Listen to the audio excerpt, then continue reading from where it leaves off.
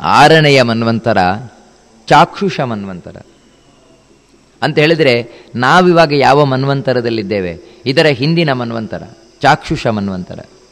ಆ ಮನ್ವಂತರದಲ್ಲಿ ಇಂದ್ರ, ಸಪ್ತರ್ಷಿಗಳು, ಇವರನ್ನೆಲ್ಲ ವಿವರಣೆ ಕೊಟ್ಕೊಂಡು ಹೋಗ್ತಾರೆ ಶುಕಾಚಾರ್ಯರು. ಅಲ್ಲಿ ಭಗವಂತ ತಾನು ಅವತಾರ ಮಾಡಿ ಬಂದ ಅಂತ ಹೇಳ್ತಾರೆ. ಯಾವ ಅವತಾರವನ್ನು ಮಾಡಿದ ಅಂದರೆ ಅಜಿತ ನಾಮಕನಾಗಿ ತಾನು ಬಂದ. ಅಜಿತ ಅಂತ ಅವತಾರ ಮಾಡಿದ. ಏನು ಮಾಡಿದ? ಅಜಿತನಾಗಿ ಬಂದು ದೇವತೆಗಳಿಗೆ ಅಮೃತವನ್ನು ಉಣಿಸಿದ ಅಂತ ಹೇಳ್ತಾರೆ. ದೇವತೆಗಳು ಅಮೃತವನ್ನೆಲ್ಲ ಕಳ್ಕೊಂಡಿದ್ರು. ಆ ಅಮೃತವನ್ನು ಉಣಿಸಿದಂತಹ ಅವತಾರ, ಅಜಿತಾವತಾರ, ಅಷ್ಟು ಮಾತ್ರ ಅಲ್ಲ, ಕ್ಷೀರಸಾಗರವನ್ನು ಕಡೆದಂತಹ ಅವತಾರ ಈ ಅಜಿತಾವತಾರ ಅಂತ ಹೇಳ್ತಾನೆ. ಆಗ ಪರೀಕ್ಷಿತ ಕೇಳ್ತಾನೆ, ಹೌದಾ? ಹಾಗಿದರೆ ಆ ಕ್ಷೀರಸಾಗರವನ್ನು ಯಾವ ರೀತಿ ಕಡಿದ್ರು? ಅದನ್ನು ನಮಗೊಂಚೂರು ತಿಳಿಸಿಕೊಡಬೇಕು ಅಂತ ಹೇಳಿದಾಗ ಕ್ಷೀರಸಾಗರ ಮಥನದ ಕಥೆಯನ್ನು ಶುಕಾಚಾರ್ಯರು ತಿಳಿಸ್ಕೊಂಡು ಹೋಗ್ತಾರೆ. ಒಮ್ಮೆ ಇಂದ್ರ ತಾನು ಮೆರವಣಿಗೆಯಲ್ಲಿ ಹೋಗ್ತಾ ಇದ್ದಂತೆ ಐರಾವತದ ಮೇಲೆ ಕೂತು ಹೋಗ್ತಾ ಇದ್ದಂತೆ ಆಗ ದುರ್ವಾಸರು ಬಂದ್ರಂತೆ. ದುರ್ವಾಸರಿಗೆ ಇಂದ್ರನ ವೈಭವವನ್ನು ನೋಡಿ ಬಹಳ ಖುಷಿಯಾಯಿತು. ತಮ್ಮ ಹತ್ರ ಒಂದು ಮಾಲೆ ಇತ್ತಂತೆ. ಆ ಮಾಲೆಯನ್ನು ಇಂದ್ರನಿಗೆ ಉಡುಗೊರೆಯಾಗಿ ಎಸೆದ್ರಂತೆ. ಏ, ತಗೋ ಇಂದ್ರ, ನಂದೊಂದು ಉಡುಗೊರೆ ಅಂತ. ಇಂದ್ರನಾದರೂ ಆ ಐಶ್ವರ್ಯದ ಮತದಿಂದ ಆ ಮಾಲೆಯನ್ನು ತಗೊಂಡಂತೆ, ತಗೊಂಡು ಆನೆ ಕೊಟ್ಟನಂತೆ ಯಾವ ರೀತಿ ನೀವು ದೊಡ್ಡ ದೊಡ್ಡವ್ರು ನೋಡಿರ್ಬೋದು, ಅವ್ರಿಗೆ ಮಾಲೆ ಹಾಕಿದರೆ ಕಾರಿಗೆ ಹಾಕ್ತಾರೆ. ಆ ರೀತಿ ಅವನು ಆನೆಗೆ ಹಾಕಿದ್ನಂತೆ. ಆನೆ ಆದರೂ ಅದನ್ನು ಕೆಳಗೆ ಹಾಕಿ ತುಳ್ಕೊಂಡು ಹೋಯ್ತಂತೆ. ಇದು ದುರ್ವಾಸರಿಗೆ ಸಿಕ್ಕಾಪಟ್ಟೆ ಕೋಪ ಬಂತಂತೆ. ನಾನು ಪ್ರೀತಿಯಿಂದ ಕೊಟ್ಟದ್ದು, ಎಷ್ಟು ಯಾವ ವಸ್ತು ಕೊಟ್ಟೆ ಅನ್ನೋದು ಮುಖ್ಯ ಅಲ್ಲ, ಆದರೆ ಯಾಕೆ ಕೊಟ್ಟೆ ಅನ್ನೋದು ಮುಖ್ಯ.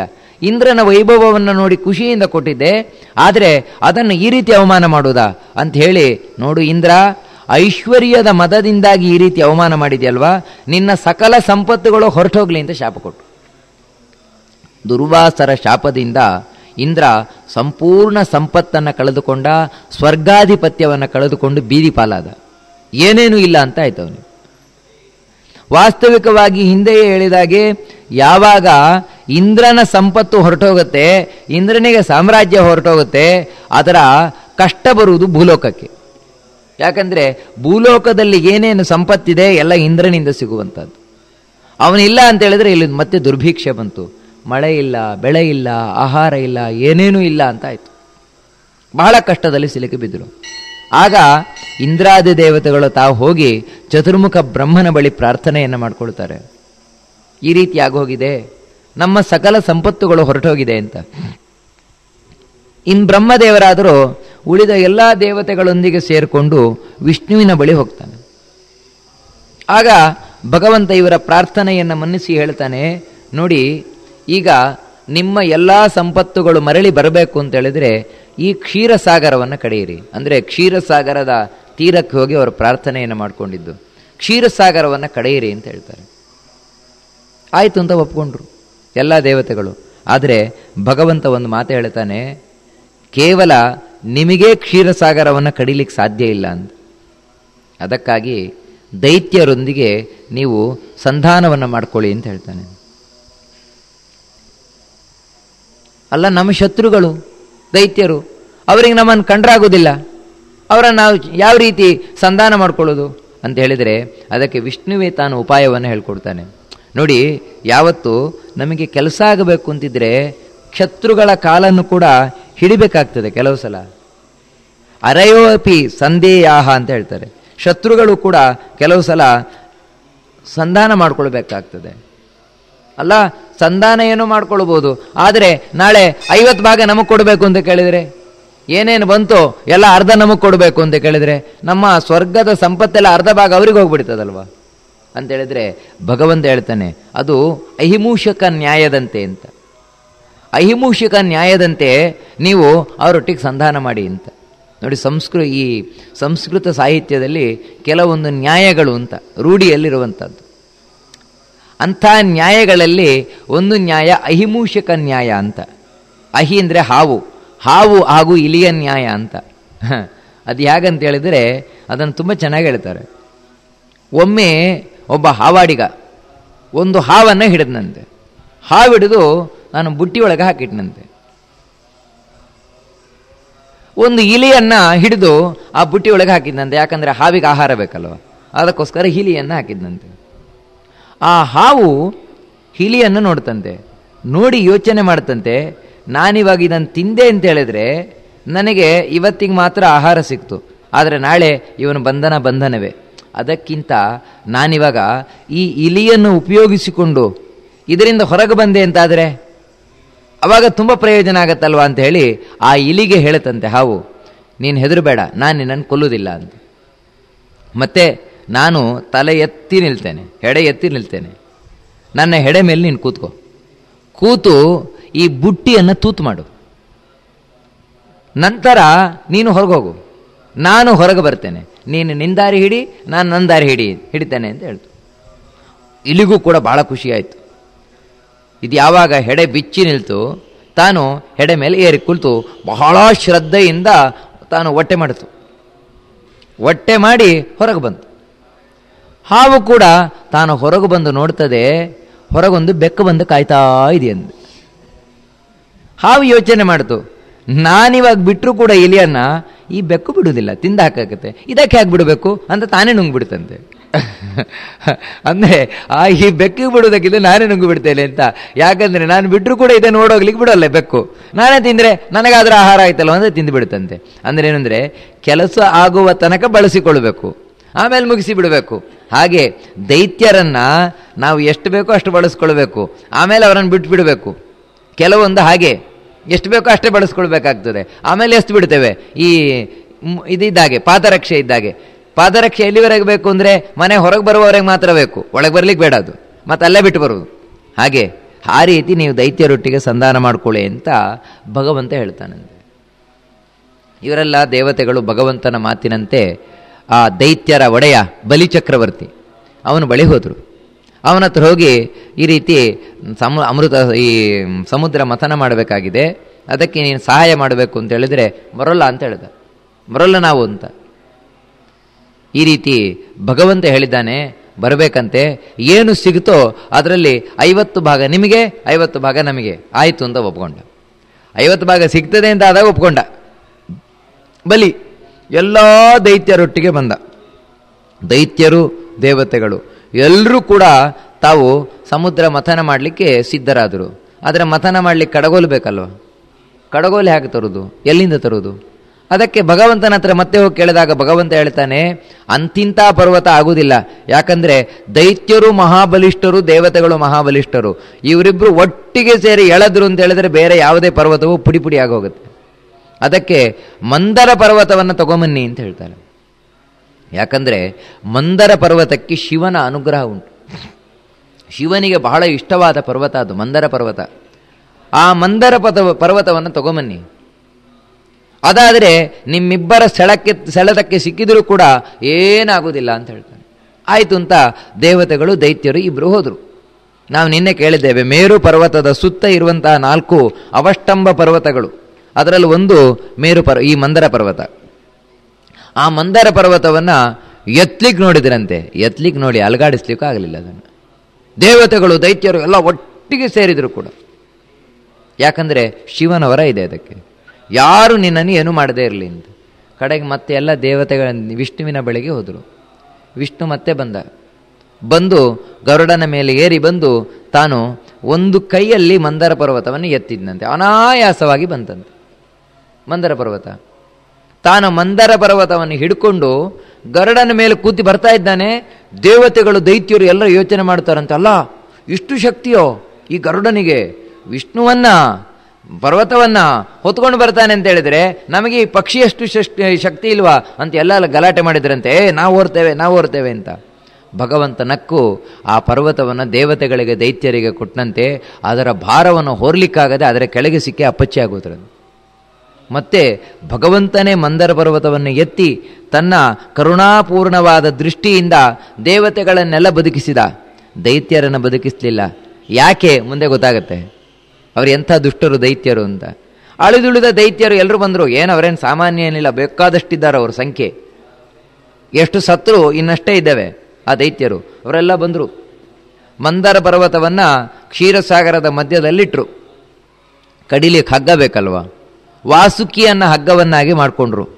ನಾಗಗಳ ಪತಿ, ನಾಗಪತಿ ವಾಸುಕಿ ಅವನನ್ನು ಹಗ್ಗವನ್ನಾಗಿ ಮಾಡಿಕೊಂಡ್ರು. ನಂತರ ಬರೀ ಹಾಲನ್ನು ಕಡಿದ್ರೆ ಪ್ರಯೋಜನ ಇಲ್ಲ, ಅಮೃತ ಬರಬೇಕಲ್ವಾ?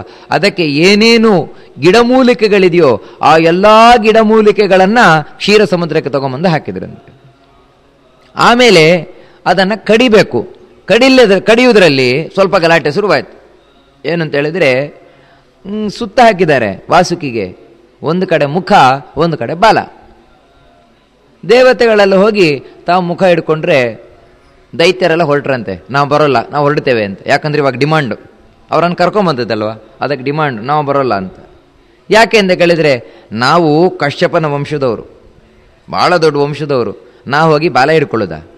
ಮರ್ಯಾದೆ ಪ್ರಶ್ನೆ. ಆಗೋಲ್ಲ. ತಲೆ ಇದ್ದರೆ ಮಾತ್ರ ಹಿಡ್ಕೊಳ್ಳೋದು ನಾವು. ತಲೆ ಇಲ್ಲ ಅಂದರೆ ಹಿಡ್ಕೊಳ್ಳೋದಿಲ್ಲ ಅಂತ ಹೇಳ್ತಾರೆ. ದೇವತೆಗಳು ನಮಗೆ ತಲೆಯೂ ಮುಖ್ಯ ಅಲ್ಲ, ಬಾಲವೂ ಮುಖ್ಯ ಅಲ್ಲ, ನನಗೆ ಅಮೃತ ಮುಖ್ಯ ಅಂತೇಳಿ ಆಯಿತು, ನಾವೇ ಬಾಲ ಹಿಡ್ಕೊಳ್ತೇವೆ ಅಂತ ಎಲ್ಲ ಹೋಗಿ ಬಾಲ ಹಿಡ್ಕೊಂಡ್ರು. ಎಲ್ಲ ದೈತ್ಯರು, ಹಾಂ ನಮ್ಮ ಗೌರವ ಅಂದರೆ ಹಾಗೆ ಅಂತ ಎಲ್ಲ ಬಂದು ಮುಖ ಹಿಡ್ಕೊಂಡ್ರು, ವಾಸುಕಿಯದ್ದು. ಮುಖ ಹಿಡ್ಕೊಂಡು ಕಡಿಲಿಕ್ಕೆ ಶುರು ಮಾಡಿದರು. ಒಂದು ಕಡೆ ದೇವತೆಗಳು, ಒಂದು ಕಡೆ ದೈತ್ಯರು. ಅಮೃತವನ್ನು, ಆ ಇದನ್ನು, ಕ್ಷೀರಸಾಗರವನ್ನು ಕಡಿಲಿಕ್ಕೆ ಶುರು ಮಾಡಿದರು. ಭಯಂಕರವಾದ ಪರ್ವತ ಭಯಂಕರವಾದ ವಾಸುಕಿ. ಹಾಗಂತ ದೈತ್ಯರು, ದೇವತೆಗಳು ಭಯಂಕರವಾಗಿ ಕಡಿತಾ ಇದ್ದಾರೆ.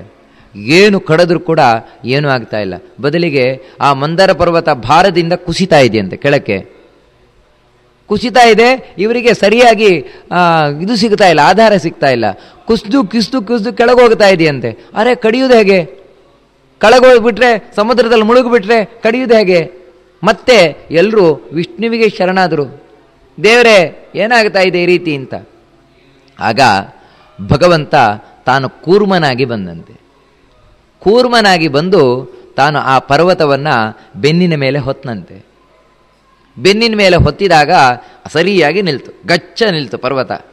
ಮತ್ತೆ ಕಡಿಲಿಕ್ಕೆ ಶುರು ಮಾಡಿದರು. ಅಬ್ಬಾ, ಅಲ್ಲ ಯೋಚನೆ ಮಾಡಿ, ದೇವತೆಗಳು, ದೈತ್ಯರು ಯಾರು ಹೊರಲಿಕ್ಕಾಗದ ಪರ್ವತವನ್ನು ಈ ಕೂರ್ಮ ಹೊತ್ಕೊಂಡು ಕೂತಿದ್ದಾನಲ್ವಾ? ಅವನಿಗೆ ಭಾರ ಆಗಲಿಲ್ವಾ ಅಂತ ಹೇಳಿದ್ರೆ, ಭಾರ ಅಲ್ವಂತೆ, ಖುಷಿ ಆಯ್ತಂತೆ. ಹೇಗಂತ ಹೇಳಿದ್ರೆ ಅದನ್ನೇ ಬಹಳ ಸುಂದರವಾಗಿ ಭಾಗವತ ಹೇಳುತ್ತದೆ. ಬೆನ್ನು ತುರಿಸಿದಾಗ ಆಗ್ತಾ ಇತ್ತಂತೆ. ಈ ಮಂದರ ಪರ್ವತವನ್ನು ಕಡಿತಾ ಇದ್ರೆ ಬೆನ್ನನ್ನು ತುರಿಸಿದಾಗೆ ಆನಂದ ಆಗಿ ನಿದ್ರೆ ಬಂದುಬಿಡ್ತಂತೆ ಕೂರ್ಮನಿಗೆ ಆ ನಿದ್ರೆಯಿಂದಾಗಿ ಅವನು ಬಂದ ಗೊರಕೆ ಏನಿದೆ? ಆ ಗೊರಕೆಯ ಶ್ವಾಸಾನಿಲೋ ಪಾಂತುನಃ ಅಂತ ಹೇಳ್ತಾರೆ. ಅವನು ಬಿಟ್ಟ ಗಾಳಿ ಏನಿದೆ? ಅದೇ ಇವತ್ತು ಸಮುದ್ರದಲ್ಲಿ ಭೋರ್ಗರಿತಾ ಇರುವುದು ಅಂತ, ತೆರೆಯಾಗಿ ಬರ್ತಾ ಇರುವುದು ಅಂತ. ಅದರಿಂದಾಗಿ ನಾವೇ ಗೊರಕೆ ಹೊಡೆಯೋದು ದೊಡ್ಡದಲ್ಲ. ಕೂರ್ಮರೂಪಿ ಭಗವಂತನೇ ಅವನ ಗೊರಕೆಯೇ ಸಮುದ್ರದಲ್ಲಿ ತಾನು ತೆರೆಯಾಗಿ ಬರ್ತಾ ಇದೆ ಇವತ್ತು ಕೂಡ ಅಂತ. ನಂತರ ಸಮುದ್ರವನ್ನು ಕಡಿಲಿಕ್ಕೆ ಪ್ರಾರಂಭ ಮಾಡಿದ್ರಂತೆ. ಕಡಿಲಿಕ್ಕೆ ಪ್ರಾರಂಭ ಮಾಡಿದಾಗ ಈಗ ಕೆಳಗೇನೋ ಗಟ್ಟಿಯಾಯಿತು ಮೇಲಕ್ಕೆ ಹಾರ್ಲಿಕ್ಕೆ ಶುರು ಮಾಡಿತು. ಮಂದರ ಪರ್ವತ. ನಾನು ಇನ್ನೇನು ಮೇಲಕ್ಕೆ ಹಾರ್ತಾ ಇದೆಯಲ್ವಾ? ಅಂತ ಹೇಳಿ ಎಲ್ಲ ದೇವತೆಗಳು ಹೋಗಿ ಮತ್ತೆ ಏನಾದರೂ ಕೂಡ ವಿಷ್ಣುವಿಗೆ ಶರಣಾಗೋದು. ವಿಷ್ಣುವಿಗೆ ಶರಣಾದರು. ವಿಷ್ಣು ತಾನು ಮೇಲಕ್ಕೆ ಮತ್ತೆ ಕೂತ್ನಂತೆ. ಅದೇ ಅಜಿತನಾಗಿ. ಅಜಿತನಾಗಿ ಅಜಿತ ನಾಮಕನಾಗಿ ತಾನು ಮೇಲಕ್ಕೆ ಕೂತ. ಅಷ್ಟು ಮಾತ್ರ ಅಲ್ಲ, ತಾನೇ ಪರ್ವತದೊಳಗೆ ಕೂತ, ಮಂದರ ಪರ್ವತದಲ್ಲಿ. ವಾಸುಕಿ ಒಳಗೆ ತಾನು ಕೂತ. ಯಾಕಂದರೆ ಇವರಿಬ್ಬರು ಎಳೆದಾಡ್ತಾ ಇದ್ರೆ ಆ ಹಾವಿನ ಕಥೆ ಏನು? ಏನು ಕತೆ ಆಯ್ತು ಅದರದ್ದು ಅಂತ ಹೇಳಿದ್ರೆ ಅದು ವಿಷ್ಣು ಪುರಾಣ ಭಾಳ ಸುಂದರ ಹೇಳ್ತದೆ, ಭಾಗವತಕ್ಕಿಂತಲೂ ಕೂಡ. ಇಬ್ಬರಿಬ್ರು ಎಳೆದಾಡ್ತಾ ಇದ್ದಾರಂತೆ ಎಳೆದಾಡ್ತಾ ಇದ್ದಾರಂತೆ ವಾಸುಕಿಯನ್ನ. ವಾಸುಕಿಗೂ ಸುಸ್ತೋ ಸುಸ್ತಂತೆ. ಸುಸ್ತಾಗಿ ತಾನು ಎದೆ ಉಸಿರು ಬಿಡ್ಲಿಕ್ಕೆ ಶುರು ಮಾಡಿದ್ನಂತೆ. ಬುಸ್ ಬುಸ್ ಅಂತ. ಅದು ವಿಷಾನಿಲ. ಹಿಡ್ಕೊಂಡಿದ್ರಲ್ವ ಮುಖ? ಎಲ್ಲ ದೈತ್ಯರು, ಅಂದರೆ ನೋಡಿ ಒಣಪ್ರತಿಷ್ಠೆ ಅಂತ ಇದಕ್ಕೆ ಕರೆಯೋದು ಅವರಿಗೆಲ್ಲ ವಿಷಗಾಳಿ. ಏನಾಯಿತು ಅಂತ ಹೇಳಿದ್ರೆ, ಮೇಲೆ ಮೋಡಗಳಿದ್ವಂತೆ. ದೈತ್ಯರ ಮೇಲೆಲ್ಲ ಮೋಡಗಳಿದ್ವಂತೆ. ಇದು ಬುಸ್ಸ ಬುಸ್ಸ ಗಾಳಿ ಬೀಸ್ ಯಾವಾಗ ಬಿಡ್ತಾ ಇದೆ ವಾಸುಕಿ, ಆ ಗಾಳಿ ಆ ಮೋಡಗಳನ್ನು ಹೊಡಿತಾ ಇದೆ ಅಂತ ಆ ಮೋಡಗಳೆಲ್ಲ ದೇವತೆಗಳ ಬತ್ತಿಗೆ ಹೋಗಿ ಮಳೆ ಸೃಷ್ಟಿಸ್ತಾ ಇದೆಯಂತೆ. ಅವರಿಗೆ ತಂಪು. ದೇವತೆಗಳಿಗೆ ತಂಪಾಗುತ್ತಾ ಇದೆಯಂತೆ. ಒಂದು ಕಡೆಯಿಂದ ವಿಷಾನಿಲ, ಮತ್ತೊಂದು ಕಡೆಯಿಂದ ಸೆಕೆ. ಇದರಿಂದ ದೈತ್ಯರು ಕೆಲವರು ಹಾಗೆ ಸತ್ತೋದ್ರಂತೆ. ಆ ವಿಷಾನಿಲವನ್ನು ತಡಿಲಿಕ್ಕಾಗಿದೆ. ಅಂದರೆ ನೋಡಿ ಒಣಪ್ರತಿಷ್ಠೆ ಮಾಡಿದರೆ ಯಾವತ್ತು ಯಾರು ಏನಾಗತ್ತೆ ಅನ್ನುವುದನ್ನು ಬಹಳ ಸುಂದರವಾಗಿ ತಿಳಿಸಿಕೊಡ್ತದೆ. ಆಮೇಲೆ ಇಷ್ಟೆಲ್ಲ ಕಡದರೂ ಕೂಡ ದೇವತೆಗಳು ಸುಸ್ತಾಗಿ ಹೋದರು, ದೈತ್ಯರು ಸುಸ್ತಾಗಿ ಹೋದರು, ಬರುವುದು ಮಾತ್ರ ಏನು ಬರ್ತಾ ಇಲ್ಲ. ಭಗವಂತ ತಾನೇ ಯೋಚನೆ ಮಾಡಿದಂತೆ ಅಜಿತ ನಾಮಕನಾಗಿ ಪರ್ವತದ ಮೇಲೆ ಕೂತ ಒಂದು ಕೈಯನ್ನು ವಾಸುಕಿಯ ಬಾಲಕ್ಕಿಟ್ಟ, ಇನ್ನೊಂದು ಕೈಯನ್ನು ವಾಸುಕಿಯ ಮುಖಕ್ಕಿಟ್ಟ. ತಾನೇ ಕಡಿಲಿಕ್ಕೆ ಶುರು ಮಾಡಿದ್ನಂತೆ. ಪಾಲ ಸಾಗರವನ್ನು ಲೀಲೆಯಲಿ ಕಡೆಯಲು. ಯಾರು ಲೀಲೆಯಿಂದ ಕಡೆದದ್ದು ದೇವತೆಗಳಲ್ಲ, ದೈತ್ಯರಲ್ಲ, ಮತ್ತೆ ಇವನೇ. ದೇವರೇ, ಅದಕ್ಕೆ ಲೀಲೆಯಲ್ಲಿ ಕಡೆಯಲು ಅಂತ. ಈ ರೀತಿ ಕಡೆದಾಗ ಮೊದಲು ಬಂತು ವಿಷ, ಭಯಂಕರವಾದ ವಿಷ. ಎಂಥ ವಿಷ ಅಂತ ಹೇಳಿದ್ರೆ ಆ ವಿಷವನ್ನು ನೋಡೇ ಮೂರ್ಛೆ ತಪ್ಪಿ ಬಿದ್ದುಬಿಟ್ರಂತೆ ಇನ್ನನ್ನು ಕುಡ್ದಲ್ಲ. ವಿಷವನ್ನು ನೋಡಿ ಯಾಕಂದರೆ ಅಂಥ ಹಾಲಾಹಲ ವಿಷ ಅದು. ಭಯಂಕರವಾದ ವಿಷ. ಅದನ್ನು ನೋಡಿಯೇ ದೈತ್ಯರು ಮೂರ್ಛೆ ತಪ್ಪಿ ಬಿದ್ದರು. ದೇವತೆಗಳು ಮೂರ್ಛೆ ತಪ್ಪಿ ಬಿದ್ದರು. ಜನಗಳೆಲ್ಲ ಹೋಗಿ ತಾವು ಶಿವನ ಹತ್ರ ಪ್ರಾರ್ಥನೆ ಮಾಡಲಿಕ್ಕೆ ಶುರು ಮಾಡಿದಂತೆ ಓ ಶಿವ, ಶಂಕರ, ನೀನೇ ಈ ವಿಷವನ್ನು ಪಾನ ಮಾಡಬೇಕು. ವಿಷವನ್ನು ಪಾನ ಮಾಡಿ ನಮ್ಮನ್ನು ರಕ್ಷಣೆಯನ್ನು ಮಾಡು ಅಂತ ತಾವು ಪ್ರಾರ್ಥನೆ ಮಾಡಲಿಕ್ಕೆ ಶುರು ಮಾಡಿದರಂತೆ. ಆಗ ಶಿವ ತಾನು ಪಾರ್ವತಿಗೆ ಹೇಳ್ತಾನೆ, ನೋಡು ನನಗೆ ಈಗೊಂದು ದೊಡ್ಡ ಅವಕಾಶ ಸಿಕ್ಕಿದೆ ಅಂತ. ಭಗವಂತನ ಸೇವೆ ಮಾಡಲಿಕ್ಕೆ ನನಗಿದೊಂದು ದೊಡ್ಡ ಅವಕಾಶ. ಯಾಕಂದರೆ ಭಗವಂತ ಯಾವುದರಿಂದ ಪ್ರೀತನಾಗ್ತಾನೆ ಅಂತ ಹೇಳಿದ್ರೆ ನಾವು ಜನಗಳಿಗೆ ಏನು ಸಹಾಯವನ್ನು ಮಾಡ್ತೇವೆ, ಆ ಜನಸೇವೆಯಿಂದ ಭಗವಂತ ಭಗವಂತ ತುಂಬ ಪ್ರಸನ್ನನಾಗ್ತಾನೆ. ಪುಂಸ ಕೃಪಯತೋ ಭದ್ರೇ ಸರ್ವಾತ್ಮ ಪ್ರಿಯತೆ ಹರಿಹಿ. ಪ್ರೀತೆ ಹರೋ ಭಗವತಿ, ಪ್ರಿಯೇಹಂ ಸಚರಾಚರ. ತುಂಬ ಚೆನ್ನಾಗಿ ಶಿವ ಹೇಳ್ತಾನೆ. ನಾವು ಈ ಜನರ ಬಗ್ಗೆ ಕರುಣೆಯನ್ನು ತೋರುವುದರಿಂದ ಹರಿಪ್ರೀತನಾಗ್ತಾನೆ. ವಿಷ್ಣು ಪ್ರೀತನಾದ ಅಂದರೆ ನಾನು ಪ್ರೀತನಾಗ್ತೇನೆ. ಅದರಿಂದಾಗಿ ನಾನಿವಾಗ ಹೋಗ್ತೇನೆ, ವಿಷವನ್ನು ಪಾನ ಮಾಡ್ತೇನೆ ಅಂತ ಹೇಳಿ ಶಿವ ತಾನು ಬಂದಂತೆ. ಬಂದು ಆ ವಿಷ ಏನಿದೆ, ಹಾಲಾಹಲ ವಿಷ, ಆ ಹಾಲಾಹಲ ವಿಷವನ್ನು ತಾನು ಪಾನ ಮಾಡಿದ ಅಂತ ಭಾಗವತದಲ್ಲಿ ಬರ್ತದೆ. ಆದರೆ ನಿಜವಾಗಿಯೂ ಕೂಡ ವೇದ ಒಂದು ವಿಶೇಷವನ್ನು ಹೇಳ್ತದೆ. ಶಿವ ಪಾನ ಮಾಡಿದ್ದೇನೋ ಹೌದು ಅದರಿಂದಾಗಿಯೇ ನೀಲಕಂಠನಾದ, ಆದರೆ ನಿಜವಾಗಿ ಈ ವಿಷವನ್ನು ಪಾಡ, ಪಾನ ಮಾಡಿದವರು ಯಾರು? ಕೇಶಿ ವಿಷಸ್ಯ ಪಾತ್ರೇಣ ಯದ್ರುದ್ರೇಣ ಪಿಬತ್ಸಹ ಇದು ವೇದ, ಋಗ್ವೇದ ಹೇಳುವಂಥ ಮಾತು. ಕೇಶಿ ಕೇಶಿ ಅಂತ ಹೇಳಿದರೆ ವಾಯುದೇವರ ಹೆಸರು. ನಿಜವಾಗಿಯೂ ಕೂಡ ಅಲ್ಲಿ ವಾಯುದೇವರು ಬಂದ್ರಂತೆ. ವಾಯುದೇವರು ಭಗವಂತನ ಆಜ್ಞೆಯಂತೆ ಆ ಎಲ್ಲ ಹಾಲಾಹಲ ವಿಷವನ್ನು ಕೈಯಲ್ಲಿ ಹಿಡಿದ್ರಂತೆ. ಆಗ ಭಗವಂತ ಆಜ್ಞೆ ಮಾಡಿದಂತೆ ಶಿವನಿಗೂ ಕೊಡುವುದು ಸ್ವಲ್ಪ ಅಂತ. ಯಾಕಂದರೆ ಶಿವನಿಗೆ ವಿಷಪಾನ ಮಾಡಿದಂತಹ ಕೀರ್ತಿ ಬರಬೇಕು ಅಂತ.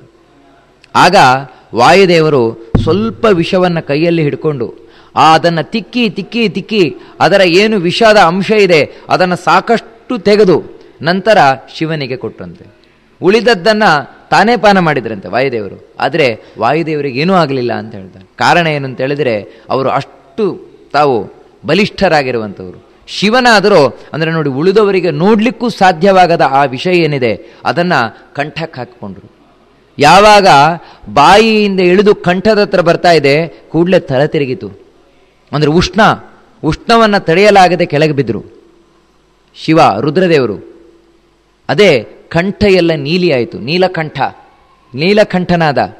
ಶಿವ ಮತ್ತೆ ಭಗವಂತ ತಾನು ಕ, ತನ್ನ ಕರುಣಾಪೂರ್ಣ ದೃಷ್ಟಿಯಿಂದ ಮೇಲಕ್ಕೆ ಬಿಸಿದರೂ ಕೂಡ ನಂತರ ಆ ಉಷ್ಣ ಪರಿಹಾರಕ್ಕಾಗಿಯೇ ಅಭಿಷೇಕ ಪ್ರಿಯೋ ರುದ್ರ ಅಂತ. ರುದ್ರನಿಗೆ ಅಭಿಷೇಕ ಅಂದರೆ ಬಹಳ ಪ್ರಿಯ. ಅದಕ್ಕೆ ಶಿವನ ಮೇಲೆ ಯಾವತ್ತೂ ನೀರು ಬೀಳ್ತಾನೇ ಇರಬೇಕು. ಯಾಕಂದರೆ ಶೀತವಾದದ್ದು. ಯಾವ್ಯಾವುದು ಶೀತದ ಪದಾರ್ಥಗಳು ಅದೆಲ್ಲ ಶಿವನಿಗೆ ತುಂಬ ಇಷ್ಟ. ಚಂದ್ರ. ಶೀತಲವಾದ ಕಿರಣವನ್ನು ಬೀರುವಂತಹ ಚಂದ್ರ. ಅದೇ ರೀತಿ ಗಂಗೆ, ಶೀತಳವಾಗಿರುವಂತಹ ಗಂಗೆ, ಹಾಗೆಯೇ ಅಭಿಷೇಕ, ಇದೆಲ್ಲ ಶಿವನಿಗೆ ಬಹಳ ಪ್ರಿಯವಾಗಿರುವಂಥದ್ದು. ಆ ಕಂಠ ನೀಲಿ ಆಯಿತು, ಆದರೆ ವಿಷ ಪೂರ್ತಿ ಹೋಗಿರಲಿಲ್ಲ. ವಿಷ ಕೈಯಲ್ಲಿ ಇನ್ನೂ ಹಾಗೇ ಇತ್ತು. ಯಾಕಂದರೆ ಪೂರ್ತಿ ಕುಡಿದದ್ದಲ್ಲ ಶಿವ, ಸ್ವಲ್ಪ ಮಾತ್ರ ಪಾನ ಮಾಡಿದ್ದು. ಅದರಲ್ಲೇ ಇಷ್ಟೆಲ್ಲ ಅನಾಹುತ ಆಗೋಯಿತು. ಆ ಉಳಿದ ವಿಷ ಏನಿದೆ, ಆ ವಿಷದಿಂದಾಗಿಯೇ ಈ ವಿಷಜಂತುಗಳು ಹುಟ್ಕೊಂಡು ಬಂದವು ಅಂತ ಭಾಗವತ ಹೇಳ್ತದೆ ಯಾವುದು? ಈ ಚೇಳು. ಮತ್ತು ನಾವಿವತ್ತೇನು? ಈ ಕನ್ನಡಿ ಹಾವು. ಕಡಂಬಳ, ಇಂಥದ್ದೆಲ್ಲ ಹೇಳ್ತೇವೆ. ಮಹಾವಿಷಭರಿತವಾದ ಜಂತುಗಳು. ಅವುಗಳೆಲ್ಲ ಹುಟ್ಟಿ ಬಂದದ್ದು ಆ ವಿಷ, ಇವನು ಶಿವನ ಕೈಯಲ್ಲಿದ್ದ ವಿಷದಿಂದ ಅಂತ. ನಂತರ ಆ ವಿಷವನ್ನು ಶುಕ್ರಾಚಾರ್ಯರು ತಗೊಳ್ತಾರೆ. ತಪಸ್ಸು ಮಾಡಿ. ಶಿವನತ್ರ ತಪಸ್ಸು ಮಾಡಿ ಆ ವಿಷವನ್ನು ತಾವು ತಗೊಳ್ತಾರೆ. ತಗೊಂಡು ಅದನ್ನು ತಾವು ಇಟ್ಕೊಂಡಿರ್ತಾರೆ. ಬೇಕಾಗತ್ತೆ, ಯಾವುದಾದ್ರೂ ಸಮಯಕ್ಕೆ ಬೇಕಾಗತ್ತೆ ಅಂತ. ನೋಡಿ, ಇದನ್ನು ನಂತರ ಶಕುನಿ ತಾನು ತಗೊಳ್ತಾನೆ. ಶುಕ್ರಾಚಾರ್ಯರಿಂದ ತಾನು ಕಾಡಿ ಬೇಡಿ ತಗೊಳ್ತಾನೆ ಆ ವಿಷವನ್ನು. ಅದನ್ನೇ ಭೀಮಸೇನನಿಗೆ ಆಹಾರದಲ್ಲಿ ಹಾಕಿ ಕೊಡ್ತಾರೆ. ಇದೇ ವಿಷವನ್ನು. ಇದೆಲ್ಲ ಮಹಾಭಾರತದಲ್ಲಿ ಬಹಳ ಸ್ಪಷ್ಟವಾಗಿರುವಂಥದ್ದು. ಒಂದು ವಿಷವೇನು ಪಾನೀಯ, ಪಾನ ಮಾಡಿದ ಶಿವ ಇಡೀ ಲೋಕಕ್ಕೆ ತಾನು ಉದ್ಧಾರ ಮಾಡಿದ. ಆಮೇಲೆ ಮತ್ತೆ ಸಮುದ್ರ ಮಥನ ಪ್ರಾರಂಭ ಆಯಿತು. ಇಲ್ಲಿ ಕೆಲವರಿಗೆ ಸಂಶಯ ಬರಬಹುದು ನಾವು ಇಲ್ಲಿವರೆಗೆ ಹಾಲಲ್ಲಿ ವಿಷ ಇರುವುದನ್ನು ಕಂಡಿಲ್ಲ. ಹಾಲಿಗೆ ವಿಷ ಹಾಕುವುದನ್ನು ಕಂಡಿದ್ದೇವೆ. ಆದರೆ ಈ ನೀವು ಕ್ಷೀರಸಾಗರ ಅಂತ ಹೇಳ್ತೀರಿ, ಹಾಲಿನ ಸಮುದ್ರ ಅಂತ ಹೇಳ್ತೀರಿ, ಹಾಲಿನ ಸಮುದ್ರ ಕಡಿದ್ರೆ ವಿಷ ಬರುದೆ ಹಾಗೆ ಅಂತ. ಅಲ್ಲ, ಒಬ್ಬ ಹುಡುಗ ಇದೇ ಪ್ರಶ್ನೆ ಮಾಡಿದ, ಹಾಲಿನ ಸಮುದ್ರ ಕಡದೆ ವಿಷ ಬರುದೆ ಹಾಗೆ ಅಂತ. ವಸ್ತುತಃ ಹಿಂದೆಯೇ ನಾವು ಕೇಳಿದವು, ಬರೀ ಹಾಲನ್ನು ಕಡದದ್ದಲ್ಲ, ಅದಕ್ಕೆ ಎಲ್ಲ ಗಿಡಮೂಲಿಕೆಗಳನ್ನು ಹಾಕಿದ್ರು ಅಂತ. ಆ ಗಿಡಮೂಲಿಕೆಗಳಲ್ಲೆಲ್ಲ ಇದ್ದ ವಿಷದ ಅಂಶ ಏನಿದೆ, ಅದು ಬಂತು. ಅಷ್ಟು ಮಾತ್ರ ಅಲ್ಲ, ಆ ವಿಷ ಅಂದರೆ ಮತ್ಯಾರೋ ಅಲ್ಲ, ಕಲಿಯವನು. ಕಲಿಯೇ ಆ ವಿಷರೂಪದಿಂದ ಬಂದದ್ದು. ನಂತರ ಸಮುದ್ರ ಮಥನಾಯಿತು ಅದರಲ್ಲಿ ಬಂದದ್ದೇ, ಅವಿರ್ಧಾನಿ ತಥೋಭವತ್ ಕಾಮಧೇನು ಮೊದಲು ಮೇಲೆ ಬಂತಂತೆ. ಋಷಿಗಳಿಗೆ ಬೇಕಾದ, ಈ ಯಜ್ಞಕ್ಕೆ ಬೇಕಾದ ಹಾಲು ಮುಂತಾದವುಗಳನ್ನು ಕೊಡುವ, ಸ್ವರ್ಗಲೋಕದಲ್ಲಿ ಬಯಸಿದ್ದನ್ನು ಕೊಡುವಂತಹ ಕಾಮಧೇನು ಮೇಲೆ ಬಂತಂತೆ. ನಂತರ ಇನ್ನೂ ಕಡೆದಾಗ ಉಚ್ಚೈಶ್ರವಸು, ಅಂದರೆ ವಿಶಿಷ್ಟವಾದಂತಹ ಕುದುರೆ ತಾನು ಮೇಲಕ್ಕೆ ಬಂತಂತೆ.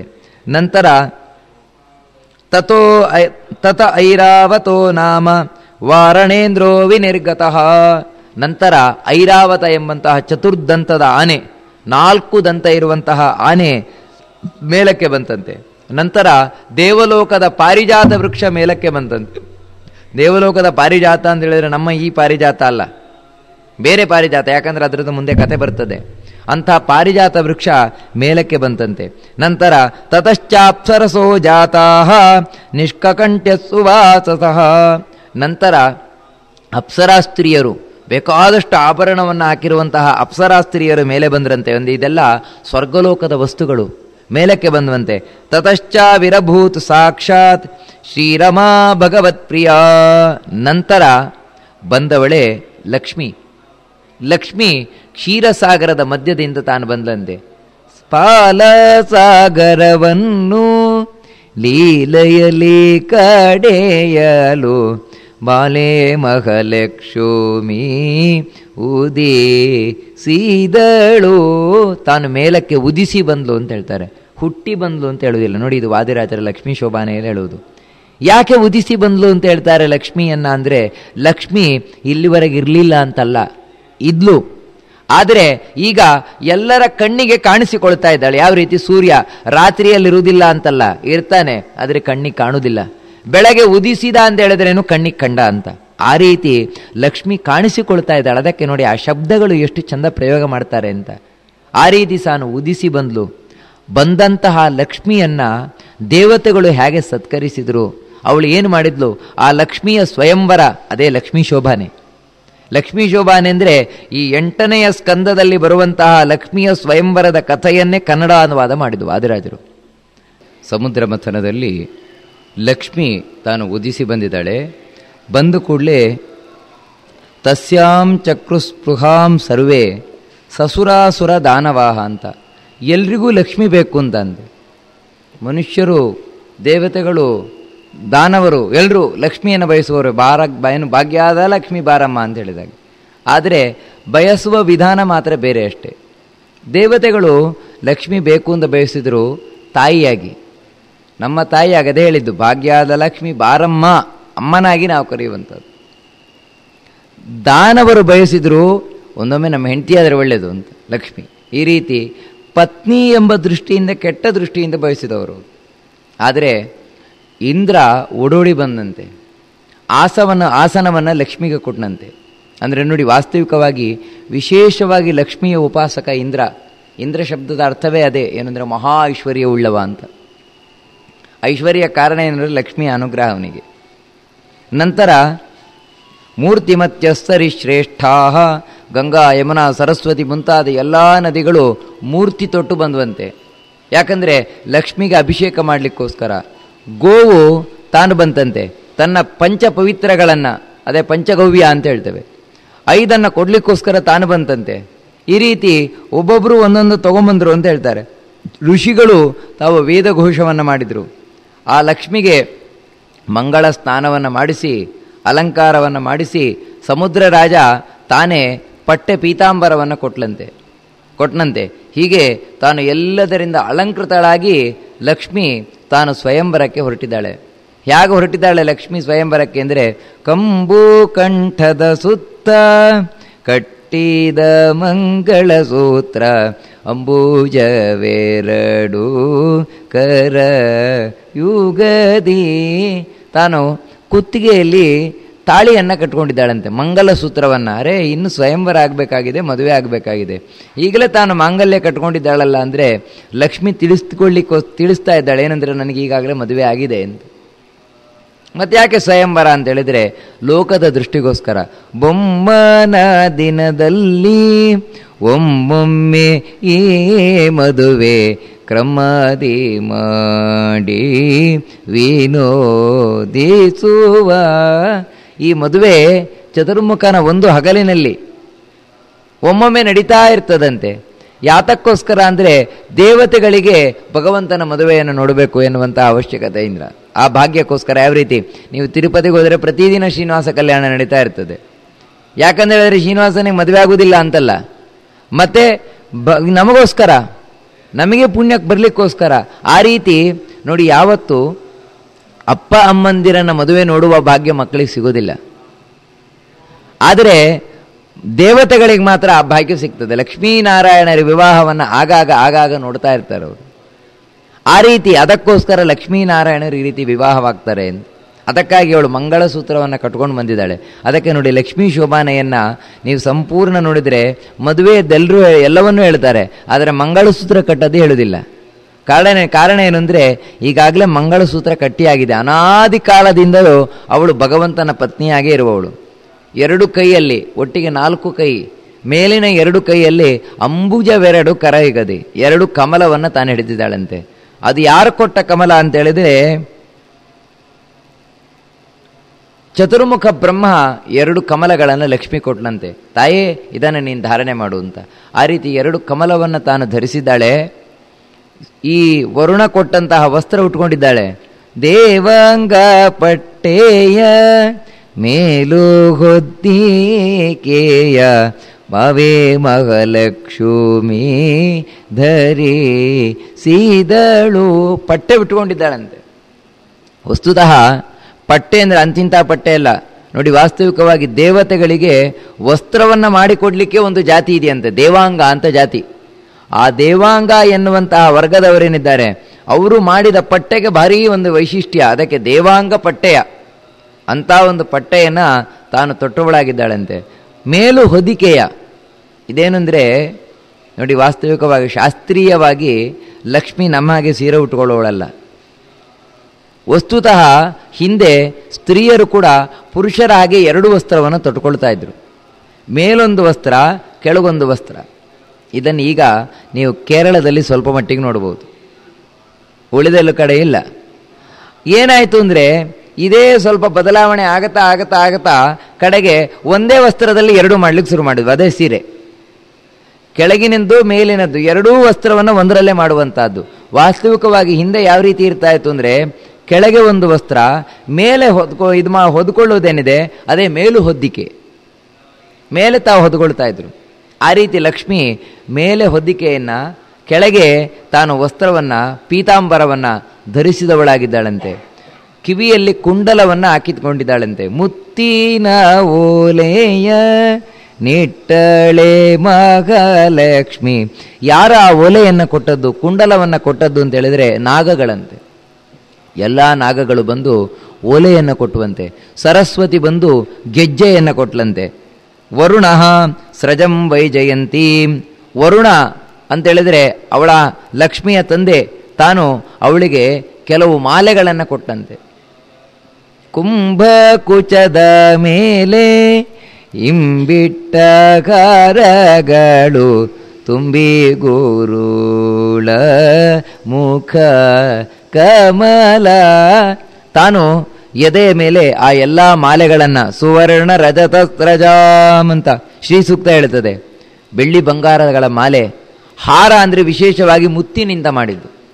ಮುತ್ತಿನ ಹಾರ ಇವುಗಳನ್ನೆಲ್ಲ ತಾನು ಧರಿಸಿದ್ದಾಳಂತೆ ಲಕ್ಷ್ಮಿ. ನಂತರ ಕೆಳಗಿನ ಎರಡು ಕೈಗಳಲ್ಲಿ ಒಂದು ಕರದಿಂದ ಅಭಯವನೀವಳೆ ಮತ್ತೊಂದು ಕೈಯಿಂದ ವರಗಳ. ಒಂದು ಕೈಯಲ್ಲಿ ತಾನು ಅಭಯ ಅಂದರೆ ಹೀಗೆ. ಇದು ಅಭಯ. ಇದು ವರ. ಹೀಗೆ ಅಭಯ ವರಗಳನ್ನು ಲಕ್ಷ್ಮಿ ತಾನು ಕೊಡ್ತಾ ಮತ್ತೆ ಎರಡು ಕೈಗಳಲ್ಲಿ ಕಮ, ಇದನ್ನು ಕಮಲವನ್ನು ಧರಿಸಿದವಳಾಗಿ ತಾನು ತುರುಬನ್ನು ಕಟ್ಕೊಂಡಿದ್ದಾಳಂತೆ. ಆ ತುರುಬಿನಲ್ಲಿ ತಾನು ಬೇಕಾದಷ್ಟು ಹೂವನ್ನು ಮುಡಿದಿದ್ದಾಳಂತೆ. ಕುಂದ ಮಂದರ ಜಾಜಿ, ಕುಸುಮಗಳ ವೃಂದವ, ಚಂದದ ತುರುಬೀಲಿ ತುರು ಬೀದಳೆ. ವಸ್ತುತಃ ಲಕ್ಷ್ಮಿಗೆ ನಾಲ್ಕು ಜಡೆ, ಒಂದು ಜಡೆ ಅಲ್ಲ. ಚತುಷ್ಕಪರ್ದಾಂ ಯಾ ದೇವಿ, ಚತುರಾಸ್ಯಾದಿಭಿಸ್ತುತ ಅಂತ ಹೇಳ್ತಾರೆ. ಆ ನಾಲ್ಕು ಜಡೆಯನ್ನ ತಾನು ಕಟ್ಟಿ ತುರುಬು ಮಾಡಿಕೊಂಡಿದ್ದಾಳಂತೆ. ಅದರಲ್ಲಿ ಬೇಕಾದಷ್ಟು ಮಾಲೆಗಳನ್ನು, ಅಂದರೆ ಈ ಕುಂದ ಮಲ್ಲಿಗೆ, ಮಂದಾರ ಮುಂತಾದವುಗಳ ಮಾಲೆಯನ್ನು ತಾನು ಧರಿಸಿದ್ದಾಳಂತೆ. ನೋಡಿ, ಇಂತಹ ಲಕ್ಷ್ಮಿಯ ಚಿತ್ರಣ ನಮ್ಮ ಕಣ್ಮುಂದೆ ಬರಬೇಕು. ನೀವು ಯಾವುದೇ ಒಂದು ಲಕ್ಷ್ಮಿಯ ಚಿತ್ರವನ್ನು ನೋಡಿ, ಅದರಲ್ಲಿ ತುರುಬು ಕಟ್ಟುವುದಿರಲಿ, ಕೂದಲು ಕಟ್ಟೋದು ಕಾಣೋದಿಲ್ಲ ಕೂದಲು ಬಿಚ್ಚಾಕಿಕೊಂಡದ್ದೇ ಕಾಣುವುದು. ಅಂದರೆ ಇದೇನು ಅಂದರೆ, ಒಬ್ಬ ಚಿತ್ರಕಾರ ತನ್ನ ಚಿತ್ರಣ, ಕಲ್ಪನೆಯಲ್ಲಿ ಬರದ ಹೊರತು ಅವನಿಗೆ ನಿಜವಾದ ಲಕ್ಷ್ಮಿಯ ಚಿತ್ರಣ ಸಿಗಲಿಲ್ಲ ಅವನಿಗೆ. ವಾಸ್ತವಿಕವಾಗಿ ಲಕ್ಷ್ಮಿ ಕೂದಲನ್ನು ಬಿಚ್ಚಾಕಿಕೊಂಡಿಲ್ಲ. ಯಾಕಂದರೆ ಹಿಂದಿನ ಕಾಲದಲ್ಲಿ ಕೂದಲನ್ನು ಬಿಚ್ಚಾಕಿಕೊಳ್ಳುವುದು ಅಂದರೆ ಅವಲಕ್ಷಣ ಅಂತ. ಅದಕ್ಕಾಗಿ ಕೂದಲನ್ನು ಕಟ್ಕೊಂಡೇ ಇರ್ತಾ ಇದ್ದದ್ದು ಯಾವತ್ತೂ ಕೂಡ. ಲಕ್ಷ್ಮಿ ಆದರೂ ಕಟ್ಕೊಂಡಿದ್ದು ಮಾತ್ರ ಅಲ್ಲ, ತುರುಬು ಕಟ್ಕೊಂಡಿದ್ದಾಳೆ. ಅದರಲ್ಲಿ ಹೂವನ್ನು ಮುಡ್ಕೊಂಡಿದ್ದಾಳಂತೆ, ಕಿರೀಟವನ್ನು ಧರಿಸಿದ್ದಾಳಂತೆ. ಅಂತಹ ಲಕ್ಷ್ಮಿ ತಾನು ಇಂಥ ಲಕ್ಷ್ಮಿ ದೇವಿಯ ಕಾಲುಂಗುರ ಘನು ಕೆನಲು ಲೋಲಾಕ್ಷಿ ಮೆಲ್ಲನೆ ನಡೆತಂದಳು. ಎಂಥ ಕಾಲುಂಗುರ? ಸರಸ್ವತಿ ಕೊಟ್ಟ ಕಾಲುಂಗುರ. ಅದು ಗಲುಕಂದಾಗ ಎಲ್ಲ ಸಖಿಯರು ಕರ್ಕೊಂಬಂದರು. ಸಾಲಾಗಿ ಕುಳ್ಳಿರ್ದ ಸುರರ ಸಭೆಯ ಕಂಡು ಆಲೋಚಿಸಿದಳು ಮನದಲ್ಲಿ. ಸಾಲಾಗಿ ದೇವತೆಗಳು ಕೂತಿದ್ದಾರೆ. ಅವರನ್ನೆಲ್ಲ ನೋಡಿದ್ಲಂತೆ. ಲಕ್ಷ್ಮಿ, ಸ್ವಯಂವರಕ್ಕೋಸ್ಕರ ಬಂದ ಕನ್ಯೆ ಅವಳಿವಾಗ. ವರುಣ ಸ್ವಯಂವರದ ಏರ್ಪಾಟು ಮಾಡಿದ್ದಾನೆ. ವಸ್ತುತಃ ಇನ್ನೊಂದು ಕಡೆ ದೈತ್ಯರು ಕೂತಿದ್ರು. ದೈತ್ಯರ ಕಡೆ ನೋಡ್ಲಿಕ್ಕೆ ಹೋಗಲಿಲ್ಲ. ಅಂದರೆ ಅಂಥ ಅಯೋಗ್ಯರು. ಲಕ್ಷ್ಮಿಯ ದೃಷ್ಟಿಯೂ ಬೀಳದ ಅಯೋಗ್ಯರು ದೈತ್ಯರು. ಲಕ್ಷ್ಮಿಯ ಕೃಪಾಕಟಾಕ್ಷವಾದರೂ ಬೀರುವಂಥವರು ದೇವತೆಗಳು. ಆದರೆ ಈ ಯಾವ ದೇವತೆಗಳನ್ನು ಅವಳು ಬಯಸ್ಲಿಲ್ಲ. ಬೇಡ ನನಗೆ ಇವರು ಯಾರು ಅಂತ ಹೇಳ್ತಿದ್ಲು. ಯಾಕಂತ ಹೇಳಿದ್ರೆ ಅವರೆಲ್ಲ ದೋಷವನ್ನು ಹೇಳಿದ್ಲನು ಉನ್ನತ ದೋಷಗಳ ನೇಣಿ ಸೀದಳು ಏನು ಉನ್ನತ ದೋಷ? ಅದನ್ನು ಭಾಗವತ ತುಂಬ ಚೆನ್ನಾಗಿ ಹೇಳ್ತದೆ. ನೂನಂ ತಪೋ ಯಸ್ಯ ನಮನ್ಯುವರ್ಜಿತ. ಕೆಲವರಿದ್ದಾರೆ, ಅಂದರೆ ಎಲ್ಲ ಈ ದೇವತೆಗಳನ್ನು ಕುರಿತು ಹೇಳುದವಳು. ಕೆಲವರಿದ್ದಾರಪ್ಪ. ಭಾರೀ ತಪಸ್ಸು. ನೂನಂ ತಪಃ. ಆದರೆ ಏನು ಮಾಡೋದು? ಸಿಟ್ಟೊಂದು ಬಿಟ್ಟಿಲ್ಲ. ಇಂಥ ಸಿಟ್ಟಿನವನನ್ನು ಕಟ್ಕೊಂಡು ನಾನು ಹೇಗೆ ಬಾಳುದು? ಅದಕ್ಕಾಗಿ ನನಗೆ ಇಂಥ ಗಂಡ ಬೇಡಪ್ಪ. ಕೆಲವರು ತಲೆಯೂರಿ ತಪಗೈದು ಪುಣ್ಯವ ಗಳಿಸಿದ್ದರೇನು ಫಲವಿಲ್ಲ.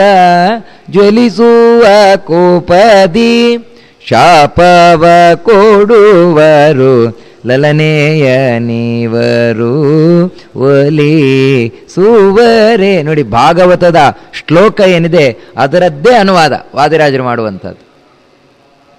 ಯಾರಿವರು? ಯಾರೊಂದು ಹೆಸರು ಹೇಳಲ್ಲ ಅವಳು. ಅದು ಸ್ವಾರಸ್ಯ. ಕೆಲವರು ಕೆಲವರು ಅಂತ ಹೇಳ್ತಾಳೆ. ಹೆಸರೇ ಹೇಳ್ಬೋದಿತ್ತಲ್ವ? ಏನಾಗಿತ್ತು? ಇಂಥವರು ಒಂದು ಬೆಟ್ ಮಾಡಿ ತೋರಿಸ್ಬೋದಿತ್ತಲ್ವ? ನಮಗೂ ಕೂಡ ಸ್ವಲ್ಪ ಗೊತ್ತಾಗ್ತಾ ಇತ್ತಲ್ವ? ಅಂತ ಹೇಳಿದ್ರೆ, ಹೇಳಬಾರದು ಅಂತಲೇ ಅವಳು ನಿಯಮ ಅಂತೆ. ತನ್ನ ಮಕ್ಕಳ ಕುಂದ ತಾನೇ ಪೇಳುವುದಕ್ಕೆ ಚೀ ಮಗ ಲಕ್ಷ್ಮಿ ತನ್ನ ಕರೆಯ ಕರೆಯದೆ ಒಬ್ಬೊಬ್ಬರ ಉನ್ನತ ದೋಷಗಳ ನೇಣಿ ಸೀದಳು. ಅವರವ್ರ ಹೆಸರಲ್ಲೇ ಕರೀಲಿಲ್ವಂತೆ ಯಾಕಂದರೆ ಎಷ್ಟಂದ್ರೂ ನನ್ನ ಮಕ್ಕಳೇ ಅಲ್ವ ಇವರೆಲ್ಲ? ಯಾವತ್ತು ಮಕ್ಕಳು ಏನು ಮಾಡಿದ್ರು ಅಮ್ಮನಿಗೆ ಒಳ್ಳೆಯದೆ ಆದರೆ ಹೇಳಬೇಕಾಗಿದೆ ಇವಾಗ. ಹೇಗೆ ಹೇಳೋದು? ಅದಕ್ಕೆ ಮಕ್ಕಳ ಹೆಸರನ್ನು ಹೇಳದೆ ಕೆಲವರು ಕೆಲವರು ಅಂತ ಹೇಳ್ತಾ ಇದ್ದಾಳೆ. ಮತ್ತು ಇನ್ನೊಂದೇನು ಅಂತ ಹೇಳಿದ್ರೆ, ಯಾವತ್ತು ಇನ್ನೊಬ್ಬರು ದೋಷ ಹೇಳಬಾರ್ದು ಅಂತ. ನಮ್ಮಲ್ಲೊಂದು ಗಾದೆ ನಾವು ಅವತ್ತು ಕೇಳಿದ್ವು ಭಾಗವತದಲ್ಲಿ ಏನಂದರೆ, ಮಾಡದವರು ಪಾಪ, ಆಡದವರು ಬಾಯಲ್ಲಿ ಅಂತ. ಆದರೆ, ಹೇಳಲೇಬೇಕು ಅಂತ ನಾಲಿಗೆ ತುರಿಸ್ತಾ ಇತ್ತು ಅಂತ ಹೇಳಿದ್ರೆ, ಹೀಗೆ ಹೇಳ್ಬೋದು, ಹಾಂ, ಕೆಲವರು ಈ ರೀತಿ ಮಾಡ್ತಾರೆ ಅಂತ. ಹೆಸರು ಹೇಳ್ಬೇಡಿ. ಯಾಕಂದರೆ ಹೆಸರು ಹೇಳಿದ್ರೆ ಪಾಪ ಬರುತ್ತೆ. ಮತ್ತೆ, ಕೆಲವರು ಹೀಗಿದ್ದಾರೆ, ಕೆಲವರು ಈ ರೀತಿ ಮಾಡ್ತಾರೆ. ಹಾಗೆ ಹಾಗೆ ಹೇಳಿದ್ರೆ ತೊಂದರೆ ಇಲ್ಲ. ಆ ರೀತಿಯಿಂದ ಇವಳು ಕೆಲವರು ಕೆಲವರು ತಪಸ್ಸು ತುಂಬ ಇದೆ. ಆದರೆ ಕೋಪ ಒಂದು ಬಿಟ್ಟಿಲ್ಲ. ಯಾಗಿದು ಎಲ್ಲ ದೇವತೆಗಳನ್ನು ಕಟಾಕ್ಷ ಮಾಡಿ ಹೇಳ್ತಾ ಇರೋದವಳು. ನೋಡಿ ಹೇಳ್ತಾ ಇರೋದು. ಚತುರ್ಮುಖ ಬ್ರಹ್ಮ ಯಾವತ್ತೂ ಜಪಮಣಿ ಹಿಡ್ಕೊಂಡು ಜಪವೇ ಮಾಡ್ತಾ ಇರುವವ ಅವನು. ಆದರೆ ಸಿಟ್ಟು ಸಿಟ್ಟು ಬಿಟ್ಟಿಲ್ಲ. ಅವನು ಕೂಡ, ಅಂದರೆ ನೋಡಿ ವಾಸ್ತವಿಕವಾಗಿ ಸಿಟ್ಟು ಆಸೆ ಎಲ್ಲ ಬಿಡದೇ ಇದ್ದರೆ ದೇವತೆಗಳಾಗುವುದೇ ಇಲ್ಲ. ಅದು ಬೇರೆ ಪ್ರಶ್ನೆ. ಆದರೆ ನೂರಕ್ಕೆ ನೂರು ಪರ್ಸೆಂಟ್ ಬ್ರಹ್ಮನೂ ಸಿಟ್ಟು ಬಿಟ್ಟಿಲ್ಲ. ಕೆಲವು ಬಾರಿ ದೇವರ ಇಚ್ಛೆಯಂತೆ ಸಿಟ್ಟು ಬರುವುದು. ಹಾಗಿದ್ರೆ ಸಿಟ್ಟು ಬಂದೇ ಬರುತ್ತಲ್ವ? ನೋಡಿ, ಒಮ್ಮೆ ಗಂಗಾ ಸಮುದ್ರ ಸಂಗಮಕ್ಕೆ ಚತುರ್ಮುಖ ಬ್ರಹ್ಮ ಬಂದಿದ್ದಂತೆ ತಪಸ್ಸು ಮಾಡ್ತಾ ಇದ್ದಾನಂತೆ. ಗಂಗಾ ಸಮುದ್ರ ಅಂದರೆ ಗಂಡ ಹೆಂಡ್ತಿ, ಸಮುದ್ರ ಅಂದರೆ ವರುಣ, ಗಂಗೆ ಹೆಂಡ್ತಿ.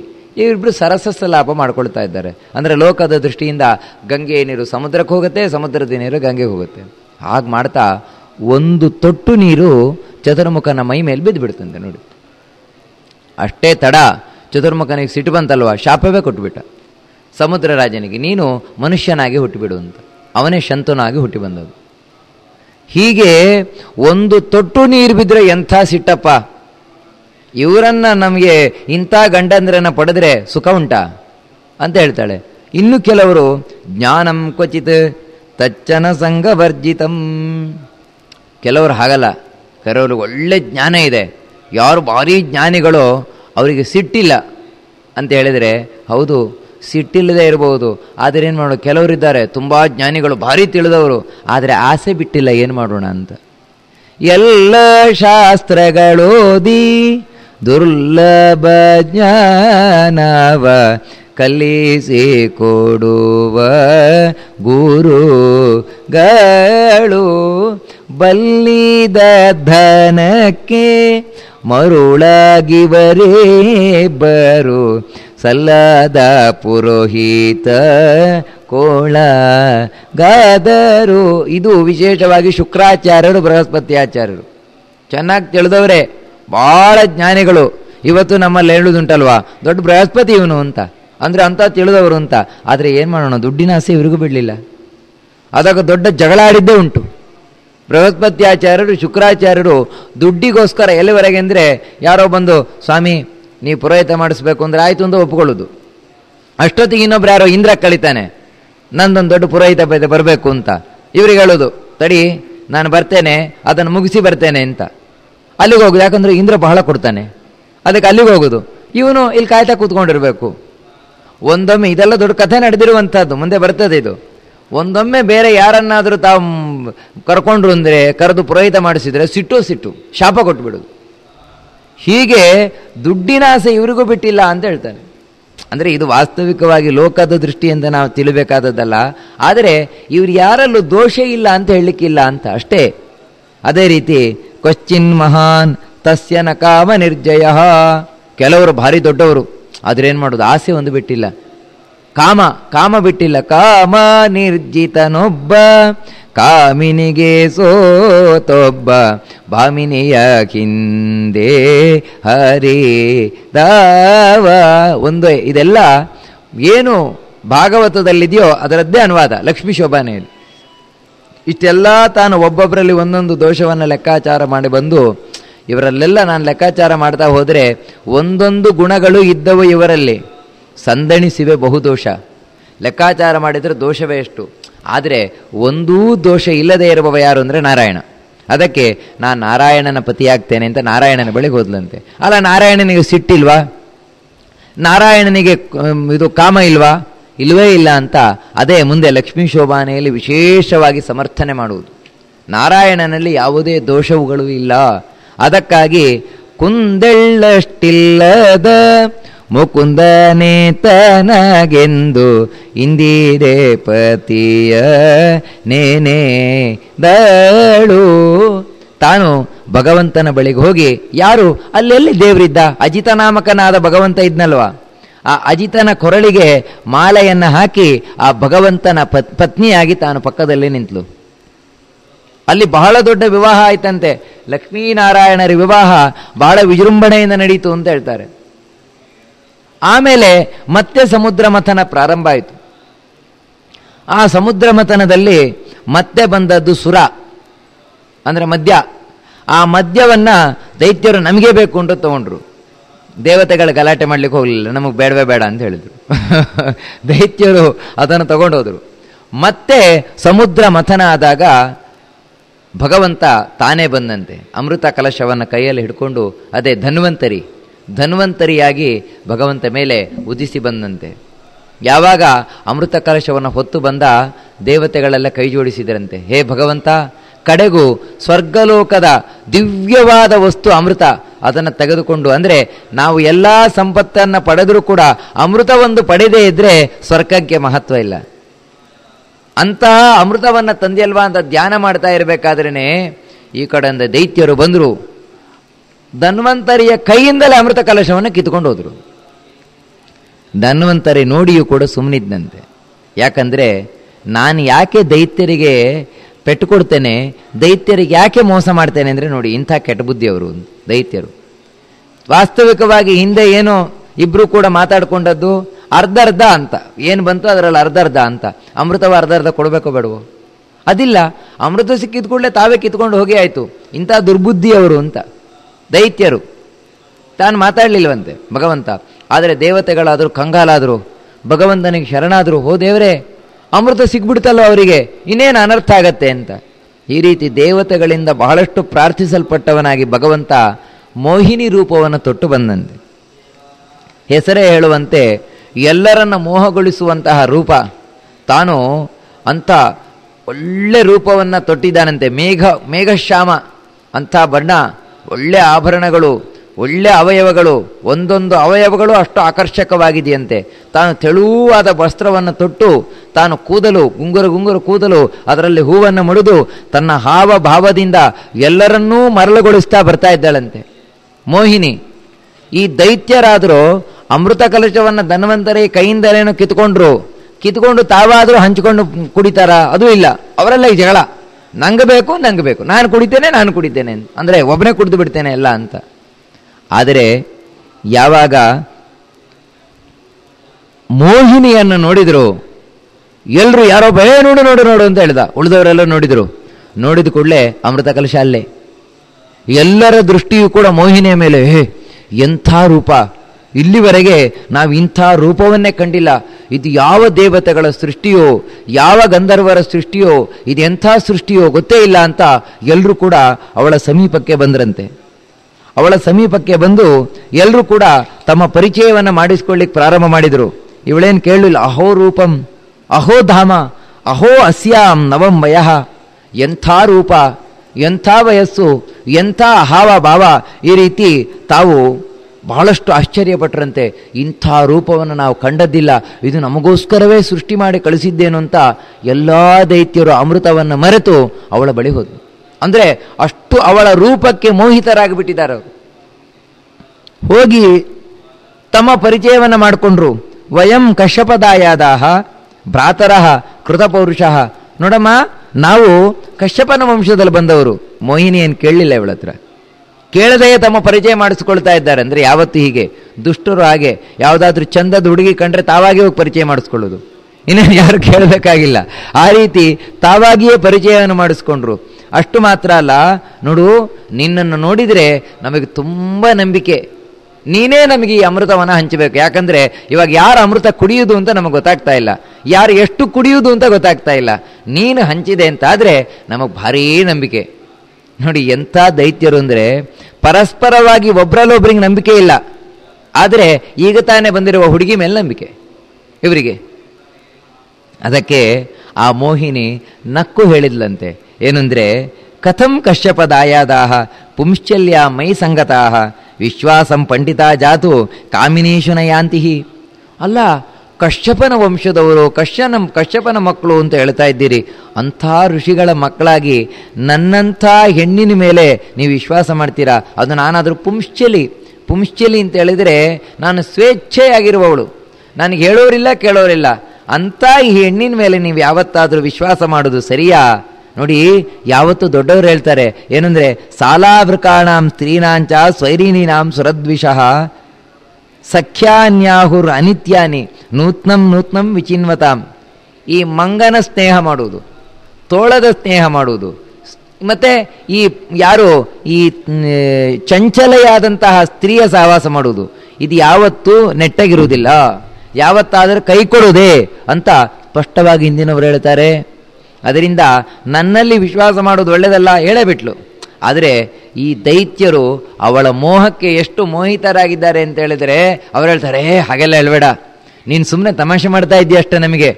ನಿನ್ನ ರೂಪ ನೋಡಿದ್ರೇ ಗೊತ್ತಾಗ್ತಾ ಇದೆ ನೀನು ಎಷ್ಟು ಒಳ್ಳೆಯವಳು ಅಂತ. ರೂಪ ನೋಡಿ ಒಳ್ಳೆಯವಳು ಅಂತ ಹೇಳುವವರು ಇವರು. ನಮ್ಮಲ್ಲಿ ಇವತ್ತು ಇದೆಯಲ್ವ? ರೂಪ ನೋಡಿ ಮದುವೆ ಆಗೋದು. ಗುಣ ಇಲ್ಲ ಏನಿಲ್ಲ. ಮತ್ತೆ ಆ ರೂಪವೇ ಭಾರಿ ಒಳ್ಳೆಯದು ಅಂತ. ಮತ್ತೆ ಮನೆಗೆ ಬಂದ ಮೇಲೆ ಗೊತ್ತು ಓ ಇದು ಒಳಗಿನಿಂದ ತಾಟಕಿ ಅಂತ.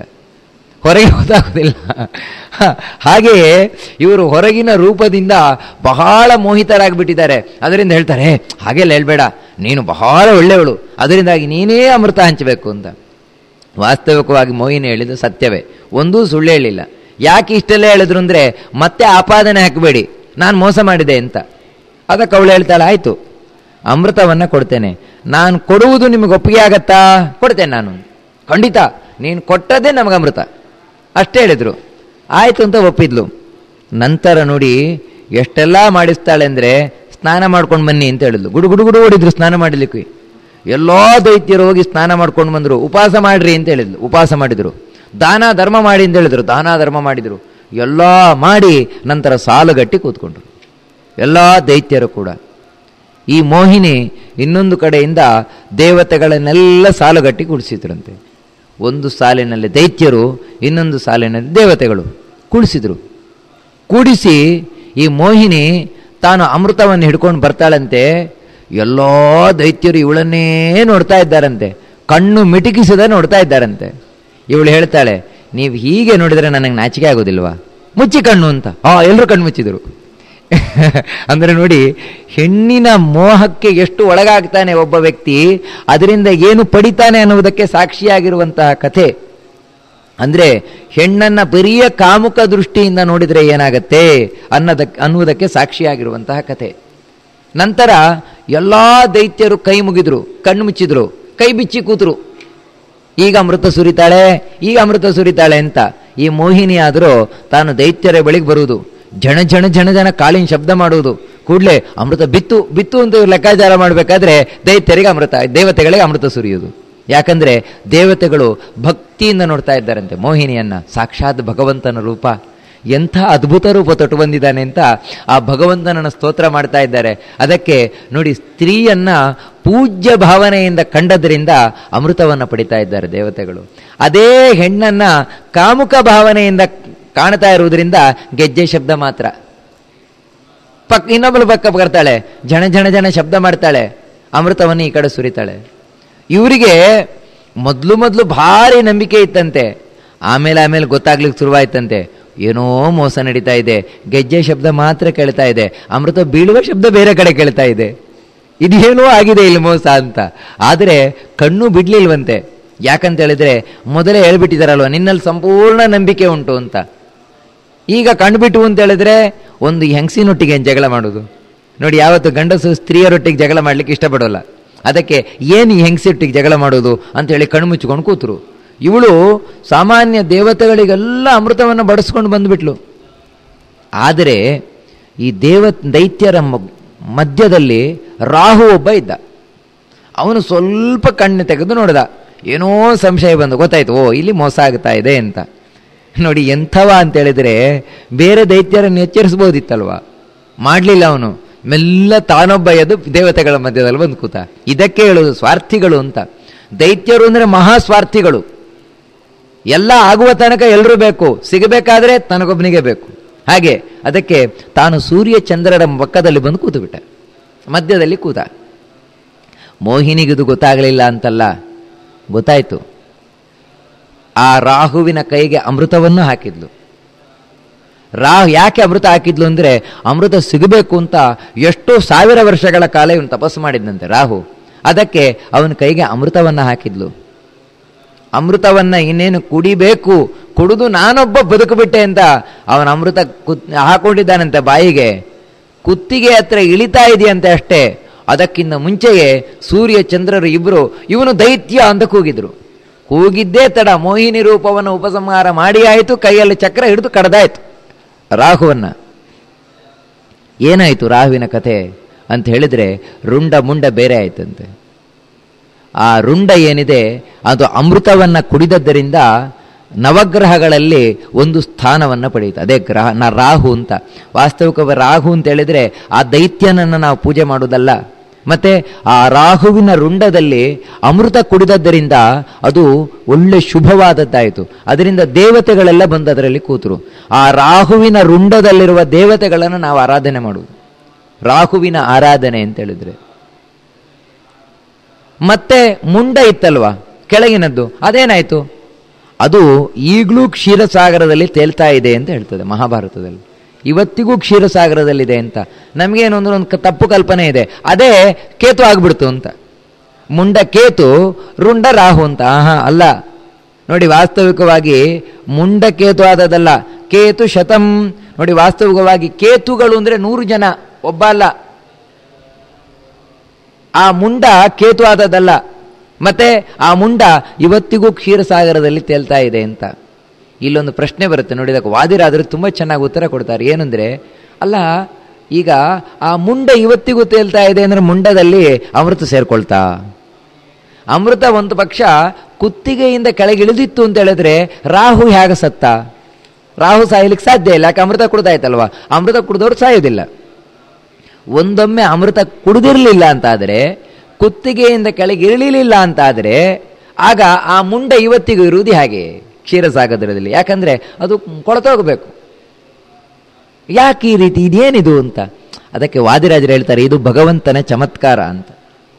ಭಗವಂತ ಏನು ಮಾಡಿದ ಅಂತ ಹೇಳಿದ್ರೆ, ರಾಹು ಅಮೃತವನ್ನು ಕುತ್ ಬಾಯೊಳಗೆ ಹಾಕೊಳ್ಳಿಕ್ಕೆ ಬಿಟ್ಟನಂತೆ ಅವನು ಹಾಕೊಂಡು ಇಲ್ಲಿಗೆ ಬರಬೇಕಾದ್ರೆ ಕುತ್ತಿಗೆ ಹತ್ತಿರ ಬರಬೇಕಾದ್ರೆ ಕಡ್ದು ಬಿಟ್ನಂತೆ ಕಡ್ದಾಗ ಏನಾಯಿತು ಅಂತ ಹೇಳಿದ್ರೆ ಕುತ್ತಿಗೆ ಏನೋ ಬೇರೆ ಆಯಿತು. ಆದರೆ ಬೇರೆ ಆಗಿ ಕೆಳಗೆ ಬೀಳಬೇಕಾದ್ರೆ ಒಂದು ತೊಟ್ಟು ಅಮೃತ ಮುಂಡದೊಳಗೆ ಬಿದ್ದು ಬಿಡ್ತಂತೆ ಅವನು ಸತ್ತೋಗಿದ್ದ.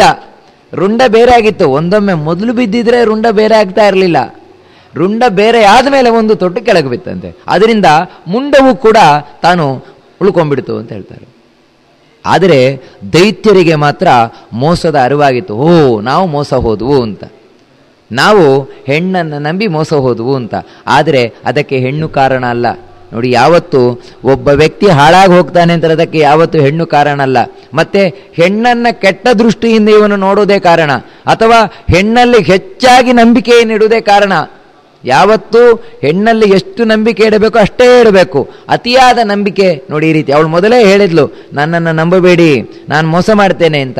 ಆಗಿದ್ರೂ ಕೂಡ ಇವರು ಕಾಮುಕರಾಗಿ ತಾವು ಹೆಣ್ಣನ್ನ ನಂಬಿ ಮೋಸ ಹೋದರು. ಅಮೃತವನ್ನ ಕಳ್ಕೊಂಡ್ರು. ಇದೇ ನಮಗೆ ಈ ಅಮೃತಮತನದ ಕಥೆ ಏನು ಏನಂದ್ರೆ ಕೈಗೆ ಸಿಕ್ಕಿದ ಅಮೃತವನ್ನು ಕಳ್ಕೊಳ್ಬಹುದು. ಯಾವಾಗ ಅಂತ ಹೇಳಿದ್ರೆ ಕಾಮುಕರಾದಾಗ, ಪರಸ್ತ್ರೀಯನ್ನು ಬಯಸಿದಾಗ, ಅದಕ್ಕೆ ಶಾಸ್ತ್ರ ಮತ್ತೆ ಮತ್ತೆ ಎಚ್ಚರಿಕೆ ಕೊಡುತ್ತದೆ. ಯಾವತ್ತೂ ಪರಸ್ತ್ರೀಯರನ್ನು ಬಯಸ್ ಬಯಸಬೇಡ. ಮತ್ತೆ ಹೆಣ್ಣನ್ನು ಪೂಜ್ಯ ಭಾವನೆಯಿಂದ ಕಾಣು. ಆಗ ಮಾತ್ರ ನೀನು ಅಮೃತವನ್ನು ಪಡಿತೀಯ ಅಂತ. ದೈತ್ಯರಿಗೆ ಸಿಟ್ಟು ಬಂತಂತೆ. ಬಲಿ ಮೊದಲಾದ ಎಲ್ಲ ದೈತ್ಯರು ದೇವತೆಗಳ ಮೇಲೆ ಮುನ್ನುಗ್ಗಿ ಬಂದರು. ದೇವತೆಗಳಿಗೂ, ದೈತ್ಯರಿಗೂ ಭಯಂಕರವಾದ ಯುದ್ಧ ನಡೀತದೆ. ಅದನ್ನು ಕೆಲವು ಅಧ್ಯಾಯದಲ್ಲಿ ವರ್ಣನೆಯನ್ನು ಮಾಡ್ಕೊಂಡು ಬರ್ತದೆ ಭಾಗವತ. ಅಲ್ಲಿ ಸಾಕ್ಷಾತ್ ವಿಷ್ಣುವೇ ದೇವತೆಗಳಿಗೆ ತಾನು ಸಹಾಯವನ್ನು ಮಾಡ್ತಾನೆ. ಅನೇಕ ದೈತ್ಯರನ್ನು ಸಂಹಾರ ಮಾಡಿ ದೇವತೆಗಳನ್ನು ಗೆಲ್ಲಿಸುತ್ತಾ ಬಿಡ್ತಾನೆ. ಇಷ್ಟೆಲ್ಲ ಆದಾಗ ಈ ಕಡೆಯಿಂದ ಶಿವ ತಾನು ಭಗವಂತನ ಬಳಿಗೆ ಬಂದಂತೆ. ಭಗವಂತನ ಬಳಿಗೆ ಬಂದು ಹೇಳ್ತಾನೆ, ಹೇ ಭಗವಂತ ನನಗೆ ನಿನ್ನ ಮೋಹಿನಿ ರೂಪವನ್ನು ನೋಡಲಿಕ್ಕಾಗಲಿಲ್ಲ.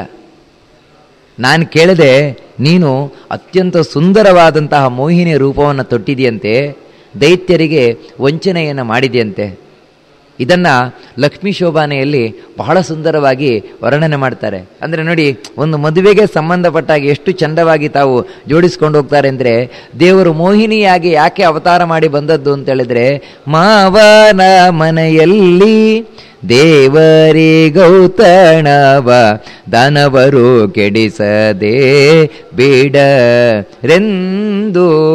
ದಾನವರು ಕೆಡಿಸದೆ ಬಿಡರೆಂದು ಶ್ರೀಕೃಷ್ಣ ದೇವ ಸ್ತ್ರೀ ವೇಷವ ಧರಿ ಸೀದಾ. ಮದುವೆ ಊಟ ಹಾಕಬೇಕಲ್ವ? ಮದುವೆ ಊಟ ಮಾಡ್ಲಿಕ್ಕೆ, ಊಟ ಹಾಕ್ಲಿಕ್ಕೆ ಏರ್ಪಾಟೆಲ್ಲ ಆಯ್ತಂತೆ. ಏನು ಭೋಜನ ಅಂದರೆ ಸಮುದ್ರ ರಾಜ ಅಮೃತದ್ದೇ ಭೋಜನವನ್ನು ಹಾಕ್ಸಿದ್ನಂತೆ. ಅದೇ ಅಮೃತ ಬಂದದ್ದು. ಮದುವೆ ಭೋಜನ ಲಕ್ಷ್ಮೀನಾರಾಯಣರ ವಿವಾಹದ ಭೋಜನಕ್ಕೋಸ್ಕರ. ಆದರೆ ಭಗವಂತ ತಾನು ಯೋಚನೆ ಮಾಡಿದ್ದಂತೆ ನನ್ನ ಮಾವ ಊಟದ ಏರ್ಪಾಡು ಮಾಡಿದ್ದಾನೆ. ಆದರೆ ಈ ದೈತ್ಯರು ಖಂಡಿತವಾಗಿ ಇದಕ್ಕೆ ಅಡ್ಡ ಕಾಲ ಹಾಕ್ತಾರೆ ಅಂತ. ಅದಕ್ಕಾಗಿ ತಾನು ಮೋಹಿನಿ ವೇಷ ತೊಟ್ಟು ಬಂದಂತೆ. ಮೋಹಿನಿ ವೇಷ ತೊಟ್ಟು ಬಂದು ಆ ಎಲ್ಲ ವಿವಾಹದಲ್ಲಿ ದೈತ್ಯರು ಏನು ಉಪದ್ರ ಕೊಡಬಹುದಿತ್ತು, ಅದನ್ನು ತಪ್ಪಿಸಿ ದೇವತೆಗಳಿಗೆ ಅಮೃತವನ್ನು ಉಣಿಸಿದ ಅಂತ ಹೇಳ್ತಾರೆ. ಅದಕ್ಕೆ ಇರ್ಬೋದು. ಇವತ್ತು ಬೀಗ್ರವತಣದ ದಿನ, ಮೋಹಿನಿ ವೇಷ ಹಾಕೋದುಂಟು. ಯಾಕಂತ ಹೇಳಿದ್ರೆ ಇದೇ ಕಾರಣದಿಂದ. ಮೋಹಿನಿಯಾಗಿ ಬಂದು ತಾನು ಮಾವನ ಮದುವೆಯ ಊಟವನ್ನು ಚೆನ್ನಾಗಿ ನಿರ್ವಿಘ್ನವಾಗಿ ನೆರವೇರುವಂತೆ ಮಾಡಿದ ಅಂತ.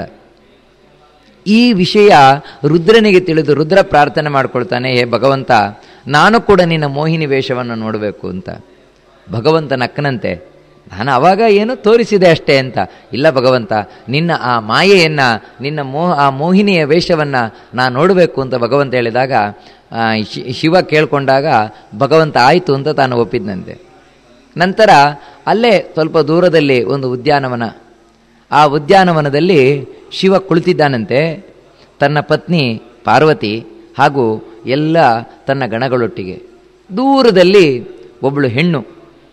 ತಾನು ಚೆಂಡಾಟ ಆಡ್ತಾ ಇದ್ದಾಳಂತೆ.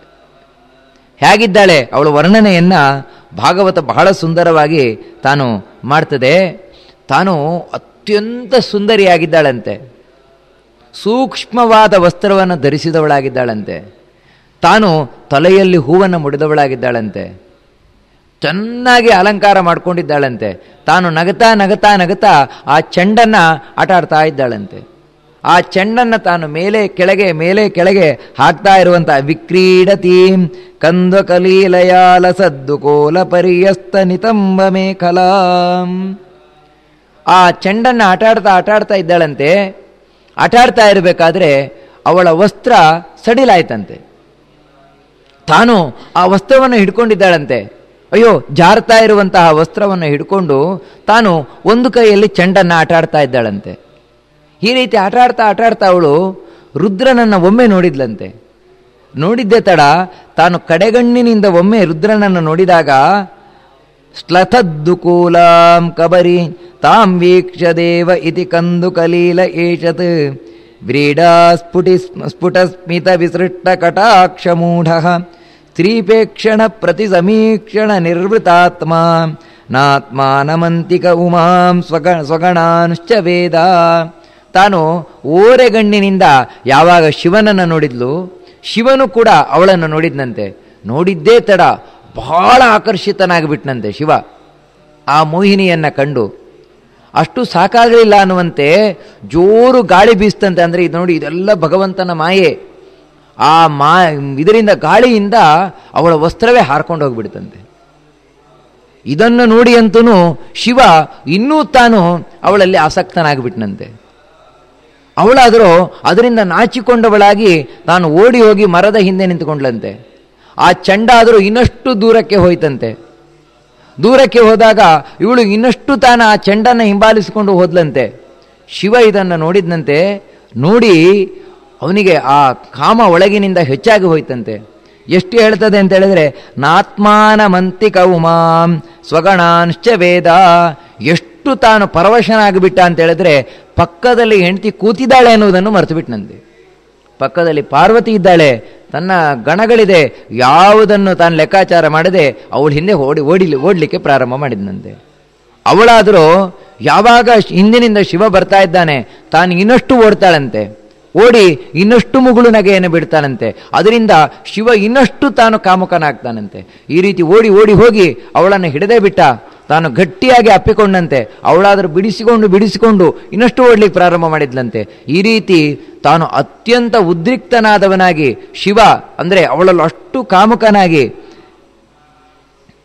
ತಸ್ಯಾನುಧಾವತೋ ರೇತಃ, ಚಸ್ಕಂಧ ಮೋಘರೇತಸಃ ಶುಷ್ಮಿಣೋ ಯೂಥಪಸ್ಯೇವ ವಸಿತಾಮನುಧಾವತಃ ಈ ರೀತಿ ಓಡ್ತಾ ಓಡ್ತಾ ಅವನ ರೇತಸ್ಸೇ ಸ್ಖಲನವಾಗಿ ಹೋಯಿತು ಅಂತ ಹೇಳ್ತದೆ.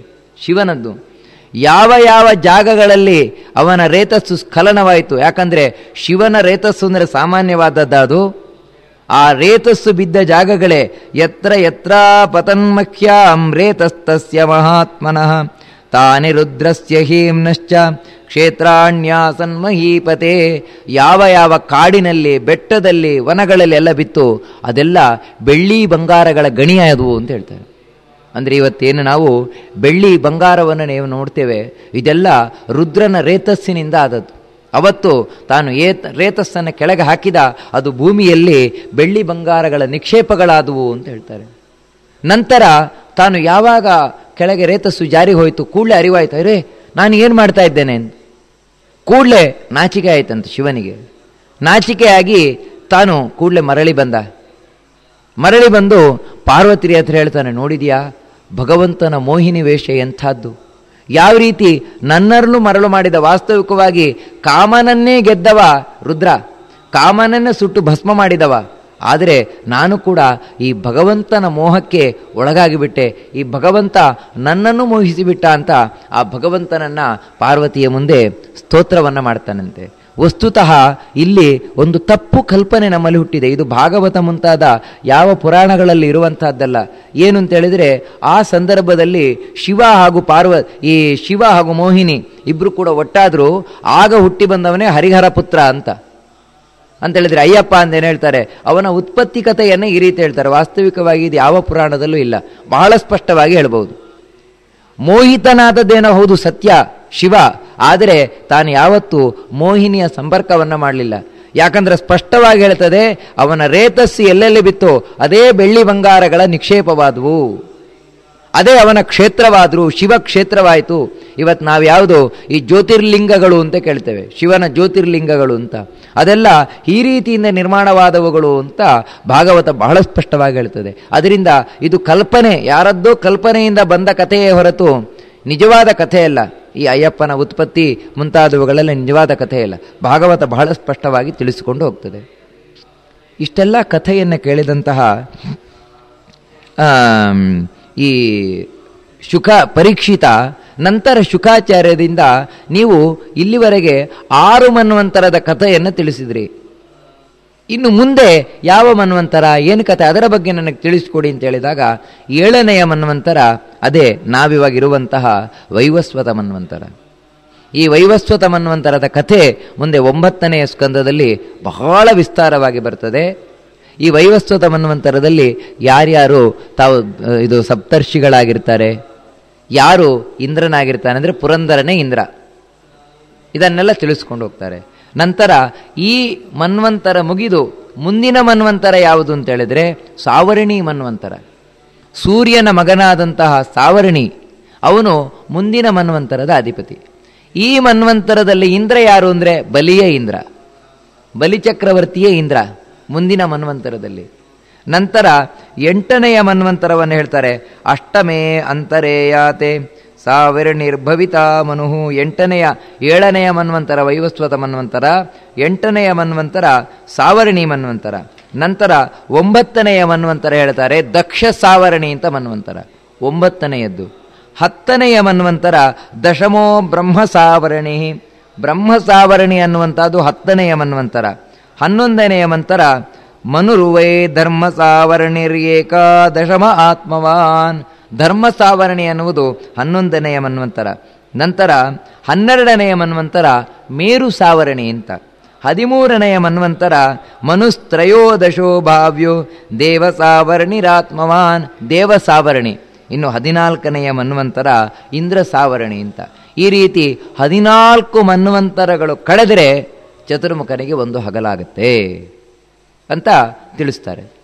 ಇಷ್ಟು ಕೇಳಿದ ಪರೀಕ್ಷಿತ ಹೇಳ್ತಾನೆ, ಈ ಮನು, ಇಂದ್ರ, ಈ ಋಷಿಗಳು, ಇವರಿಂದ ನಮಗೇನು ಲಾಭ ಉಂಟು? ಯಾಕೆ ನಾವು ಈ ಕಥೆಯೆಲ್ಲ ಕೇಳಬೇಕು? ಅಂತ ಹೇಳಿದರೆ, ಅದಕ್ಕೆ ಶುಕಾಚಾರ್ಯರು ಹೇಳ್ತಾರೆ, ನೋಡು, ಸುಮ್ ಸುಮ್ಮನೆ ಕೇಳುವುದಲ್ಲ ಇವರೆಲ್ಲ ನಮಗೆ ತುಂಬ ಸಹಾಯ ಮಾಡ್ತಾ ಇದ್ದಾರೆ ಅಂತ. ಒಂದೊಮ್ಮೆ ನಮ್ಮ ನಾವು ಧಾರ್ಮಿಕರಾಗಿದ್ದರೆ ಆ ಧಾರ್ಮಿಕರಾಗಿರಲಿಕ್ಕೆ ಕಾರಣವೇ ಮನುಗಳು ಅಂತ ಹೇಳ್ತಾರೆ. ಈ ಮನ್ವಂತರದ ಅಧಿಪತಿಗಳಾದ ರಾಜರು ಯಾರಿದ್ದಾರೆ? ಅಂದರೆ ನೋಡಿ ಈಗ ನಾವಿರುವಂತಹ ಮನ್ವಂತರ ಏನಿದೆ? ಈ ಮನ್ವಂತರಾದ ಅಧಿಪತಿ ವೈವಸ್ವತ ಮನು ಅಥವಾ ಶ್ರಾದ್ದದೇವ. ಅವನಿಂದಾಗಿ ನಮಗೆ ಇವತ್ತು ಧರ್ಮದಲ್ಲಿ ಆಸಕ್ತಿ ಇದೆ. ಅಂದರೆ ಧರ್ಮವನ್ನು ಉಳಿಸಿ ಬೆಳೆಸುವಂತಹ ರೂಪ, ಒಂದೊಂದು ಮನ್ವಂತರದಲ್ಲಿಯೂ ಮನ್ವಂತರ ಅಧಿಪತಿಗಳು. ಅದವರ ಕೆಲಸ. ಇನ್ನು ಋಷಿಗಳೇನು ಮಾಡ್ತಾರೆ? ಸಪ್ತರ್ಷಿಗಳು. ಅವರು ಆಯಾ ಮನ್ವಂತರದಲ್ಲಿ ಜ್ಞಾನವನ್ನು ಕೊಡುವವರು ಅಂತ ಹೇಳ್ತಾರೆ. ನಮಗೆ ಸ್ವಲ್ಪವಾದರೂ ದೇವರ ಬಗ್ಗೆ ಗೊತ್ತಿದೆ ಅಂತ ಹೇಳಿದ್ರೆ ಅದಕ್ಕೆ ಕಾರಣ ಸಪ್ತರ್ಷಿಗಳು. ಅದೇ ರೀತಿ ಇಂದ್ರ ಏನು ಮಾಡ್ತಾನೆ?